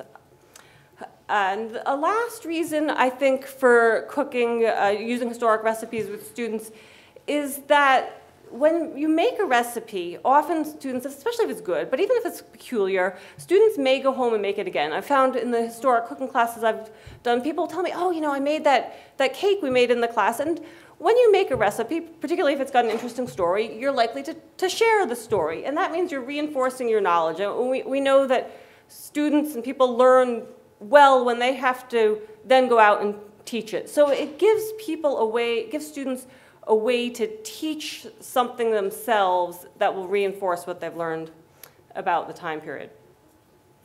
All right, but now you're, still wondering, can I make these recipes in my classroom? Do, do any of you have, are any of your school, do any of your schools have instructional kitchens? Okay. Uh, so not many people. I mean, some schools have them, and that's great. If you, if you have an instructional kitchen, that's great. You can, and if you have a, a culinary teacher, you have lots of options of what you can um, do for instance, oh, sorry. Um, some of these biscuit recipes, th these would be, you really would need uh, an oven, unless you, um, so you'd need an oven to make most of these uh, baked goods. Uh, but one thing that's nice about these recipes is, for instance, here, the, the tea biscuits include wheat flour, but also barley flour. So a student is seeing there's a substitution of wheat flour, you're supposed to be saving wheat, and, and you're using some barley flour in, in place of it. So, you know, this is um, getting at the, the idea of wheatless days. And one thing Helen explains in one of the uh, videos is that I, I was surprised. I thought that wheatless really meant wheatless, but actually it means just less wheat. As, as Helen explains, you know, giving up wheat was a sacrifice. So people were cutting back on the amount of wheat. They weren't giving it up entirely. A lot of these recipes do have some wheat flour and then um, some barley flour or buckwheat flour or rye flour. And those uh, kind of flours, if you're not uh, a baker yourself, are pretty readily uh, available at grocery stores. These are not exotic ingredients that are hard to find. Let's see. Um, so if you don't have an instructional kitchen and wanted to make something like this, you know, the, the, the option would be have the students prep it, and you know, that involves mixing the ingredients by hand or by, by, by spoon or whatnot, and then you, if, if you're able to make it at home and bring in the finished product so they can taste it, that's an option. But that's, that's not practical for a lot of people.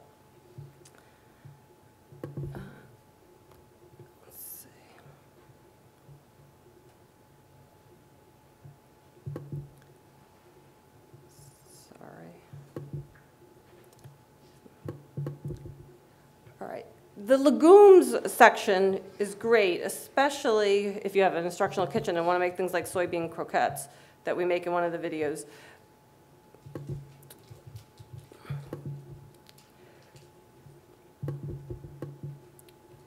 But if you don't want to make some of these recipes that are, you know, more complicated, something like the date, the stuffed dates that we that um, we saw in one of the videos is something that is very easy to do in a classroom. It was dates, you need pitted dates, uh, cream cheese, um, nuts, and if, you, if your school doesn't allow you to use nuts, you can substitute sunflower seeds. That's a good alternative for nuts, because a lot of school districts, of course, don't allow nuts anymore. And then mayonnaise. You know, you, you, all you have to do is take the date, stuff it with some cream cheese, roll it in the nuts, and dip it in mayonnaise, and you have an authentic World War I recipe, and, and it's good. As Helen and Julia, you, you know, you saw in the video, it, it, it, sounds peculiar, right? But it actually tasted very good. Um, we all had seconds. Yeah, that, that, that was really good. Um, Try that one. Like that was one of the ones I'm like, oh no. Yeah. No, no, no, it was good. Let's see. Uh, so, so that that's the kind of thing that could easily be done in. Um, sorry, this is not as easy to. You could easily do in a, in a, um, in a classroom. All right. Another option is something like this Elmhurst salad. Again, a date, cream cheese kind of situation. Uh, here, what you're doing is, is the recipe calls for dates, cream cheese, salt, paprika, lettuce, and French dressing. All of those easily available at a grocery store. You can buy bottled French dressing. We, we've learned that bottled food is, you know, an authentic part of the World War One uh, experience. Um, so, so that's legit. You don't have to make it from scratch. And all you need is a couple, uh, you know, plastic bowls, mash up the cream cheese with the paprika. The recipe says to stone the dates and fill with the cream cheese, which has been seasoned and with the salt and paprika. So you need little bowls, cream cheese, paprika, salt, mash it together, stuff it into the dates, put it on the lettuce attractively, and, and try it with the with the French dressing. And this I have not tried. I mean, that does sound very peculiar, but, you know, but, but, but, your students might find it if, uh, uh, they might like it. I mean, the weird, you know, a lot of these recipes actually are good, um, but the, you know, the weird factor is, is sort of fun. I mean, it's, it's, you know, it's, it's peculiar. It's better than asking people to bring fluffy to school and, and cooking hymns. So, which would have been authentic too. Um, here's another good recipe. I, and this will be the last recipe I wanted to show you. And then I would actually love to hear from Tim uh, to see if he has thoughts on how, um, how you could apply the kind of framework he, he, was showing us with the, with the visual images to cookbooks. If, I'd love to have a conversation. Um, kidney bean salad, also. Um,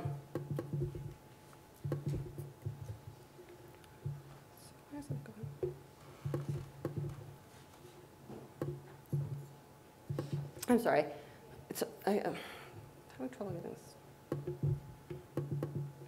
Anyway, the kidney bean salad is another very basic recipe. It includes kidney beans, sweet pickles, and celery. And, and again, these are all recipes that are readily available at the grocery store. You need a knife to chop the celery. You can even buy diced celery at some grocery stores. Maybe a knife to, to cut pickles, and that doesn't need to be a sharp knife. Pickles are not hard to cut. I mean, you know, you have to think practically. What, what, what can you do? What, what's safe, and, and so on. Mix these ingredients together, and, and students, you know, can have, a, again, a taste of something that was substituting beans for meat, and, you know, I think further understand, um, you know, understand in a sensory way, in a hands-on way, what substituting um, these foods meant for Americans on the home front. So, but before uh, we uh, turn to what, if any thoughts Tim might have, I just want to emphasize this is practical, it is doable in your classroom, even without an instructional kitchen. So I do hope you'll consider using recipes, and I would love to hear from you if you think this is practical, doable, uh, or what considerations you might have that I may not have thought about because I'm not in a, a classroom um, doing this, because it is something I, am really working to try and develop um, for the World War I era, but also for other eras, um, because I do believe uh, historic recipes and historic cookbooks offer us a, an unusual way of teaching, an unusual and engaging way of teaching uh, history to students.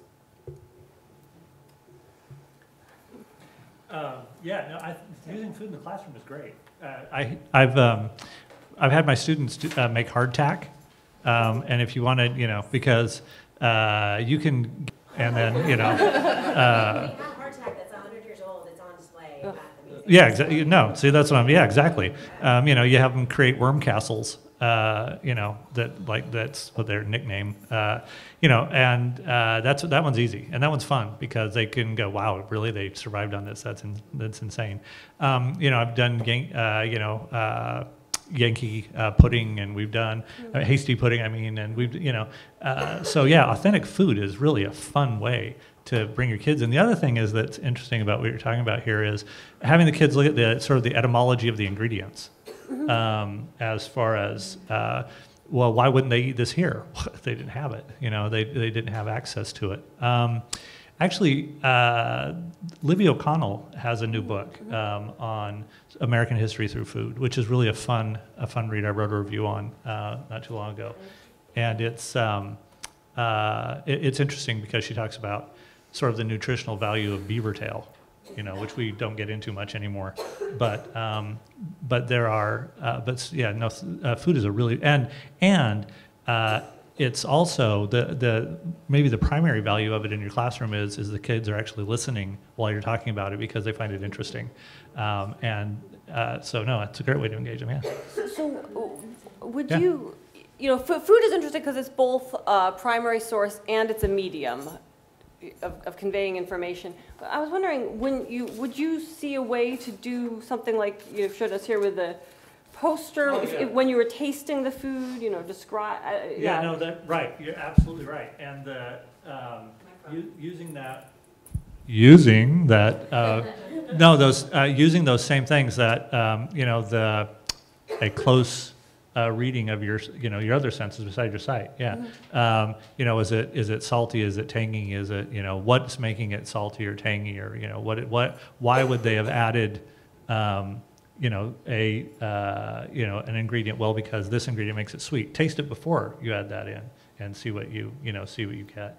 Um, no, of course, yeah. And, and the thing, again, it's breaking, having, making the students break down the process, right? That's, that's part of the whole critical thinking process, making the students break down the components, whether it's a poster, whether it's a recipe, um, you know, uh, whether it's a reading, a primary source reading, um, getting back to that uh, so that they can see the, the genesis of, of anything, any kind of a primary source, whether it's a, something you're tasting, something you're seeing, or something you're reading, yeah. Yeah. I would like to add something to that also. And I think one of the things we all really want to do in the classroom is not only, and I concur with you about having kids look at images or tasting food together, is identity. And there are always those very quiet students who have maybe come recently to the United States who have an identity issue around food that's interesting and maybe even has an aspect of what it means to really be hungry, which many kids in the United States have, but they don't verbalize it, while other kids have never experienced it. So, this whole idea of food winning the war in terms of famine or availability, um, identity and food is very highly co- connected um, in these kinds of recipes. Yeah, and the, the populations that I that I taught, um, the schools that I taught in were all Title I schools, and uh, the last the the school that was mentioned at the, in my introduction, um, tho- that school is 97% free reduced lunch and 24 native languages. And a lot of people don't realize, but Salt Lake City is a port of entry for the United States. And so, um, whenever there was a world crisis, I knew who, who my next group of students were going to be. So when Chernobyl happened, I got Ukrainian kids, and I got Eastern European kids, and I got Russian kids. When uh, the the um, Bosnia Herzegovina all fell apart, um, the Serbian kids and Bosnian kids, and the, and recently uh, waves of uh, kids from Somalia, Kenya, Mali. So all of those cultures bring all of their experience as far as food goes and their interpretation of food. I had a, a Pakistani refugee uh, family who on Thanksgiving brought in turkey that they had done Pakistani style because they couldn't find the foods in the supermarket that they were used to preparing. Um, and so they took and they took what they could find in our supermarket and culturized it with spices and preparation uh, in order to make it uh, their own. And so that history is now, and it's very well reflected in this, especially when you're talking about, you know, immigrant foods, um, pastas and sauces and so on. And they would take whatever we had, they had could find here, and yet, and then reinterpret it uh, to fit their own, you know, their own culture, which created brand new norms uh, in America. Yeah. And what- and if I might say to, to this point, and you may just have to repeat me in the microphone, in this book, if you're trying to do this with your kids, there's a, a recipe for possum, and that would be a great way to do the, you just start off with that, and then you can get them to that whole conversation, uh, because it's, not quite as bad as the pets, but it does make you go, oh, awesome. Right, so that's, that's exactly what I was going to say. So Lora was talking about a recipe for possum that's in one of these books, is because we all have identity issues around mm-hmm. food. It's not just that, you know, I think sometimes, you know, our students can think, well, other people have these sort of strange foods that they eat. But we, we eat strange foods too, and there are lots of foods that we don't eat for strange reasons. You know, if we don't want to eat possum or beaver tail or cat, that's not biological, that's not natural, that's cultural. And I think looking at food historically is such a great way to highlight that for students. Yeah. Do you have questions? Yeah, it, it's more of a comment. Um, I've been doing this uh, teaching for over 20 years, but it, it seems, it always seemed amazing to me that we- we'd look for ways for students to feel, to read, to smell, to hear. But the one sense that always seemed to be void is, is taste from that. And, uh, you know, other networks like the Food Channel have made uh, a whole area of study. And so I think you're onto something really here. And why did our food taste change? And how were things introduced? And how did they become part of our culture? Um, One, and one of the first times that I introduced this taste part uh, and smell is when we talk about um, the Silk Road and uh, the Columbian Exchange and that. And then we have, I bring things into the classroom, different spices and so on. And uh, we taught, and I have the students smell it, and we take whole cloves, and we, you know, and they and they taste things. We, you know, and we, we do that, and so that and salt.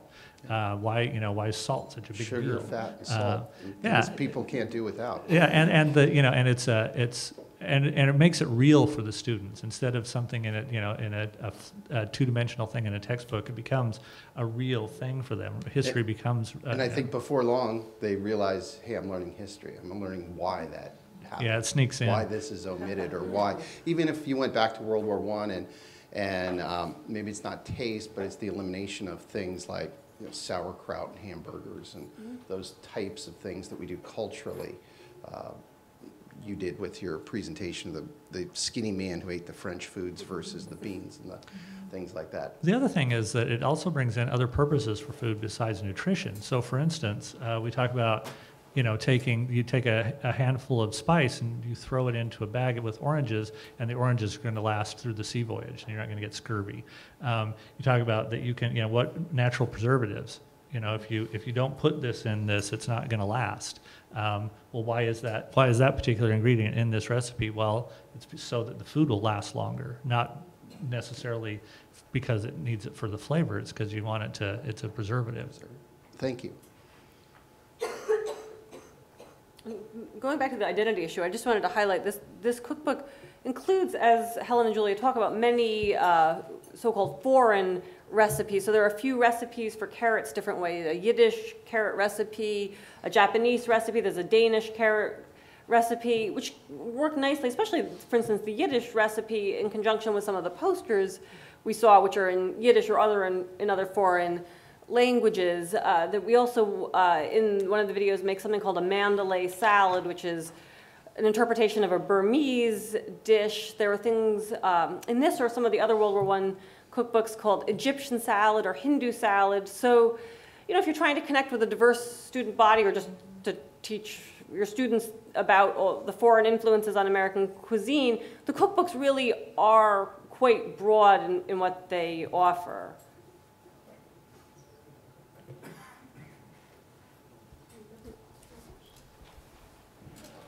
Thank you. I love being the last speaker before lunch. Can I just tell you that's the best spot to be in? Do a quick switch out here.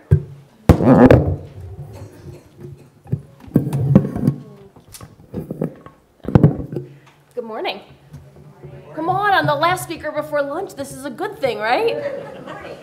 Good morning. My name is Lynne O'Hara. I'm the Director of Programs for National History Day. One of the things that my job is, is to really kind of help make connections. One of the things that you will see, oh, good, it's going to work. Life is always good when the technology works. You're my proof it worked. It might stop working, but that's okay. One of my goals, you may have heard of National History Day. Do I have History Day teachers in the crowd? My people, I like you. Thanks. Say hi to me afterwards. Make sure you're on my listserv. But one of my goals in History Day, and what we're most known for, is our contest. It's grade students in grade 6 to 12, they do historical research, they compete regional, state, national level. That's great. That's about 2% of my job. My goal as director of programs as I came in in 2013 was to really make links into helping develop history education. And one of the resources that came out of this, so I started in 2013, and about two weeks into my job, my boss came to me and said, okay, we have a funding for a project that was started before you, go, before you came here. It's a project on World War I. We need a teacher resource. You've got about six months. Go. And I thought, wow, that's a high stakes assessment to get us started. Um, and what the way that this worked and what this has resulted in is the World War I book that's on the back table. Please help yourself, take them, take them back for colleagues. My goal is to get these in the hands of teachers. So, one of the things as a teacher who's worked in US history, European history, world history, is trying to figure out what the resources are. Because the reality is, when you start teaching World War I, there's so many different ways it can go, right? Time is a huge factor. How much do I spend? Do I spend one day on this, four days on this, four weeks on this? There's never enough time. The second thing you find is that there's a couple narratives that are out there over and over and over again. So one of those examples is trenches.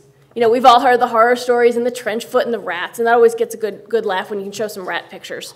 Um, and the other thing you see is tanks. Here's an American tank, here's a British tank, here's a funny tank. It must be French. I wonder why they lost. And the reality is there's so many more stories. So one of the things that I did was to reach out to some of History Day's traditional and some new partners and said, okay, give me some of your best, most unique, and different kinds of resources. I said, I want things that people haven't seen before, and I want something that's a little off the beaten path. And we worked with World War I Museum, Army, Navy, Marine Corps Heritage, Library of Congress, National Archives, Smithsonian. Quite frankly, as a former teacher, I'm amazed. I call these places, they call me back. They send me things. They say yes, and I, I, you know, I'm still a little amazed by that. But what I said was get beyond the traditional story. And what we've created from that is our resource. Now, the resource has a couple key things to it. First off, we talked about the idea of perspective. This came up in the session we were talking about yesterday. Do you look at it from the US perspective, from the European perspective? So we actually went out to some of our master teachers and said, okay, let's talk about perspective. And actually, the one that's most surprising to most people is China and Japan. Let's talk about the fact that there are Chinese and Japanese laborers. Let's talk about the fact that you know Wilson's ideas of nationalism and self-determination show up when a guy named Ho Chi Minh shows up at the Versailles conference and says, you know, come seat me. I want to talk about this for my nation. And we say, no, no, no, go away. We don't really want to talk to you. I would just tell the kids, be careful who you kick off your cafeteria table. It might come back to bite you one day. We also worked with Lora at the World War I Museum and also the Army Heritage Center to say, look at the ways, what kinds of questions should we ask in the classroom? What are some topics and some research avenues for students? But one of the things that always frustrated me when I was teaching is that a lot of these resources were very prescripted. It was do this in this way, in this order. And I said, look, teachers really need the ability to cherry pick. They really need the ability to adapt. And they really need the ability to take the idea and shift it to different levels. Uh, by the end of my teaching career, I tended to teach the two extremes in high school. I taught the AP US History, and then I taught co-taught special ed English language learner. If you had something special to you, you absolutely were in my classroom. Um, and don't think those AP kids aren't special. They're just special in a different way. But one of the ways that I really tried to push this is to look at the resource in a different way. So what I said was, okay, we can't just do a book. Books are nice, but books are limiting. So what we did was the book is connected to a website. It's really easy. It's nhd.org slash World War I. What you can do is read the book. You can download a PDF version of the book. But what's most importantly, the book contains eight lesson plans. In addition to the eight plans in the book, there's an additional nine plans on the website. And it's designed to be adaptable for what you need. So half the lessons are designed for middle school, grades six to eight, half are designed for high school. But one of the things that you'll see is that if you pick a lesson and you open it up, you not only get the lesson module, but you get all of the materials that you need to do it. The materials, as much as humanly possible, are there as Word and Excel documents, and that's absolutely intentional. So, for example, you might choose this lesson on reporting on World War I. This lesson uses Chronicling America articles from the Library of Congress to talk about how the war was being talked about. And I believe the author chooses a set of eight different articles. Well, realistically, that might not work for you based on time, resources, reading levels for your students. So you might say, you know what, I really want to focus on these two or these three.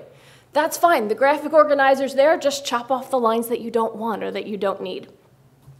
Truly, my goal with History Day is expanding it. Expanding it beyond the traditional contest model to really getting the idea of resources out for teachers. Sometimes they are physical resources, sometimes they are online resources. We do a series of webinars and Google Hangouts. Uh, sometimes we're working with developing teacher institutes. But my goal is to help improve history and that by doing so and providing these opportunities and resources for teachers, that helps you provide to your students avenues for research. Because I know as a teacher, there are things that we have our specialties in, and then there's what you get assigned to teach, right? Ancient history, that was me. Mesopotamia, I didn't remember anything about that. And then I had a class of sixth graders in front of me, and they didn't know anything about it either. So we had to figure it out together. Um, same with economics. Wow, that was another eye opener. But one of the things that I think is that I want to create resources that are out there so that when you are there, when you get hit on this class, you've got something to go to. Um, so I just, I'm going to pass things off to Q&A because I know we're running a little late on time and you got to get out to lunch. That's important. Um, but just to say thank you for including us, for thinking about this. If you have more questions about History Day or listserv or things like that, come see me afterwards. So thank you. So questions for anybody?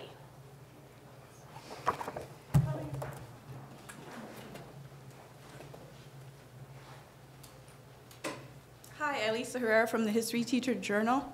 Um, I really appreciate this um, presentation and speaking of cookbooks and history, getting people interested in general, just holiday baking. I pulled out some of the old cookbooks from the 1950s, and you can see specifically it refers to the housewife will do this, or it's a, it's an avenue to express their creativity.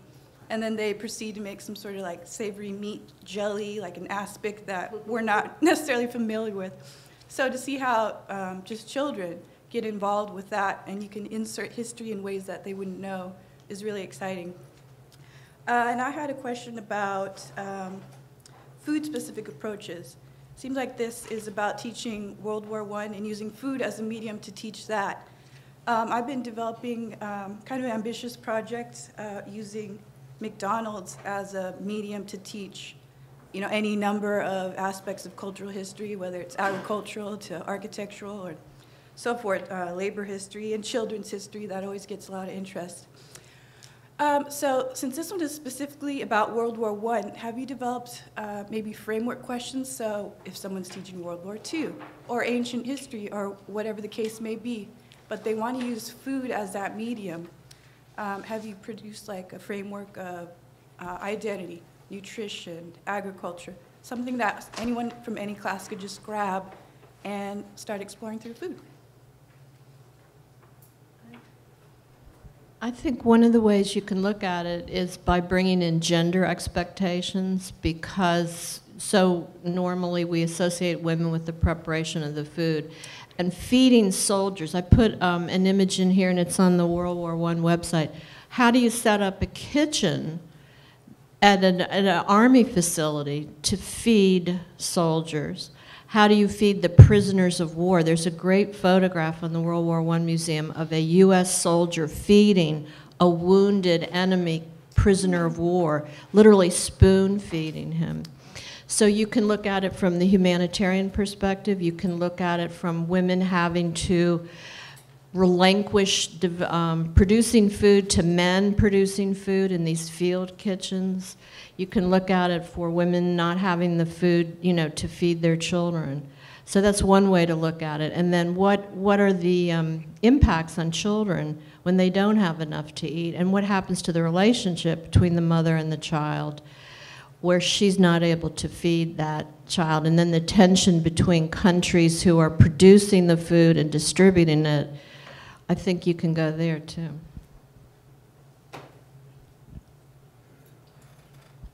Um, I think that's a really interesting question. I haven't developed a framework per se, but I teach um, I teach at the college level, but I teach a lot of food history classes, and I think there are certainly big questions that come up over and over again that could really apply to World War One, but also all over the place, really. And one is certainly gender, one is labor, agriculture, food safety and preservation, which is something that's can be um, maybe off our radar today, only because we're so fortunate. But for so many people, how you were going to preserve the food, and it, as a result, how you cooked it and how you dealt with it were, were the most pressing questions that you had. Um, because food had to last through the winter. And so most of the cooking before the 1920s really revolved around um, different preservation techniques. Um, you know, of course, distribution and, and beliefs about food. If you look at a 19th century cookbook, so many of the cooking times are for, you know, an hour, an hour and a half for things like vegetables, which, which seems crazy to us today. You know, we're like, oh, they lost all the vitamins. But to them, they, many, many people believed that foods were indigestible without that sort of cooking. So I think cultural beliefs about food, these are just big thematic Mhm. ideas that jump out at me, but I, I really think there are certainly commonalities, and that's, that's a really interesting idea, developing a sort of framework. Yeah, I'll just kind of jump in. Um, we have not developed a framework. One of the things that Helen and I were actually hoping to do, and it hasn't happened yet, but if people want to join us, uh, we were hoping to have lesson plans actually associated with the videos, so Oh, that you know lesson plans would be. I mean, part of the issue is we are not K through 12 teachers, and so we don't develop lesson plans for the K to 12 classroom. Um, but but if anyone would like to sort of join, it's, it can be an evolving and an ongoing project. And I think that the point about a sort of a more universal framework for thinking about not just World War One, but World War Two, um, you know, the Civil War. The I'm sorry, I'm an American, I'm an Americanist, but you know, thinking about different uh, different eras, uh, you know, different eras, different wars, different periods. I think that that's a really great question. So um, Yeah, or the idea. so- great, and I think you guys, if we had that universal framework, we would all come to you asking questions. yeah, so uh, that would be great. So. The only thing that occurred to me with framework is, and just listening to the conversation, you might think about going from, from micro to macro. So if you started with, uh, you know, gender roles and a, you know, a, a woman in, supposed to be in the kitchen and the man on the front lines thing, and then go to the, go to the, the macro of food as a tool of, of, of war or diplomacy um, and world politics. Um, and I mean, I think that then you could you could start with this level with the students, you know, which is more, you know, uh, uh, edible, and then move up to you know something that has a much larger scope, and that, that would they'd have a better feel for it. Thank you. Let me just come on up. I just wanted to add one other thing that goes along with what Tim just said. Migration um, is another focus for that whole notion of food, how people get to where they are, what they bring with them in terms of migration. Hi, I thought this was really interesting, and I have two questions that are sort of related. I wonder if, in the letters that the soldiers wrote home, if they make any mention of food, and also if after World War I they're coming back from Europe with a different sense of taste, a different set of foods that they try to bring back to their small towns or their big cities.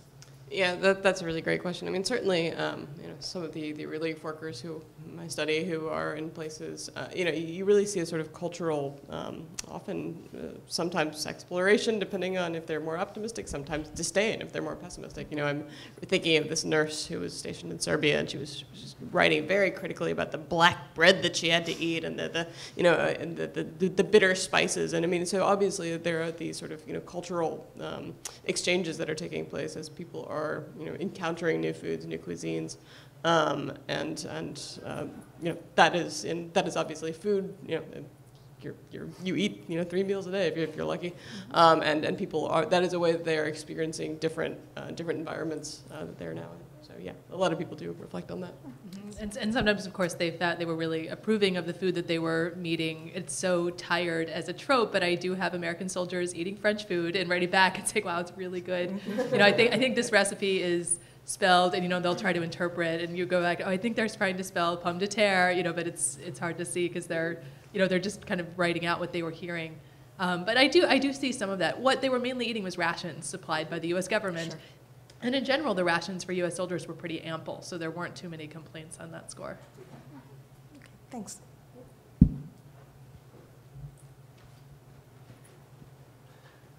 Well, apropos the uh, previous question, if you to go to uh, any major U.S. Army base, for instance, let's say Fort Dix, uh, in Bordentown, the areas around, you'll find an inordinate number, for instance, of Korean restaurants at one point. Vietnamese at another, and depending on the generation, as the troops rotate back, they bring back taste for kimchi or what have you. So that's certainly uh, a constant in American military experience. Uh, regarding uh, sort of a broader context of what we've been talking about, um, there's a great course, those DVDs that are always advertised on the Times on the uh, history of food. And uh, I forget the name of the guy who wrote, uh, who did the uh, course, but in any case, each of the various lessons is highlighted by some historic recipe. And if you watch the DVD, he goes through the preparation of it, and he addresses so many of the themes, be it gender or trade or uh, or preservation and so on and so forth, and all these things and all. And it's a really interesting thing if you're just getting started in the field and trying to broaden out beyond just American history in terms of global history. Yeah, just comments. Thank you. Uh, one thing I might add to, uh, Amanda earlier had mentioned some of the, the recipes in the cookbook that have names such as um, Hindu salad, Mandalay salad, Egyptian salad. And you know, these are also these these American ideas of what the, so-called exotic world is. I mean, so you know, these sort of conceptions of what you know exotic food, foreign food is, which are very rarely based on any sort of reality whatsoever. Um, but you know, it's it's kind of interesting thinking about the ways that you know, say let's a housewife in the middle of Iowa is, is imagining uh, Burma or is imagining you know Egypt. I mean, we can see these sort of ideas about what the foreign are that aren't necessarily always based on truth, but then, as you point out sometimes uh, you know, actual ideas, actual influences are coming back and being hybridized and, and sort of repurposed um, and you know, becoming, becoming these new foods. So, um, you know, sort of, uh, you know, uh, U.S. or, or, you know, any sort of um, interactions abroad certainly do change the way that, that people eat and, and do create these major shifts in uh, food ways and eating habits.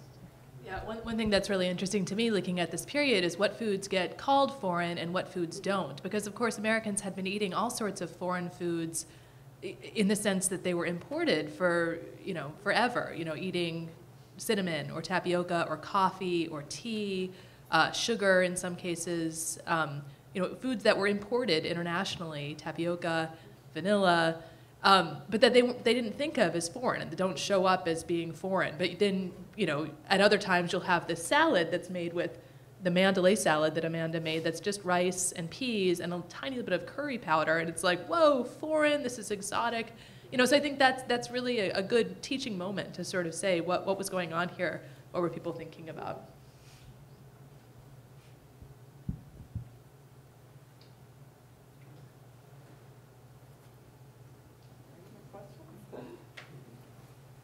Are there any more questions? I'm Dana Schaefer, staff with the AHA. Um, well, I wanted to first thank all of our panelists for doing such a terrific job today. We, I really, really was impressed with all of it, and I thank you very much. So. a lot of exciting stuff. And I want to thank all of you for coming. Um, I wanted to make a brief mention tonight. We have a networking reception um, for K through 12 attendees of the conference, it's at 7 o'clock. Um, let me check my phone. It's uh, at the Hilton Clinton Room. That's the second floor. Um, a lot of the AHA's teaching division will be there. We'd love to get your feedback, some ideas on what other programs we can do um, at, at the future annual meetings and throughout the year. So thanks everyone for coming. Uh, thanks to our sponsors, and uh, we hope you enjoy the annual meeting.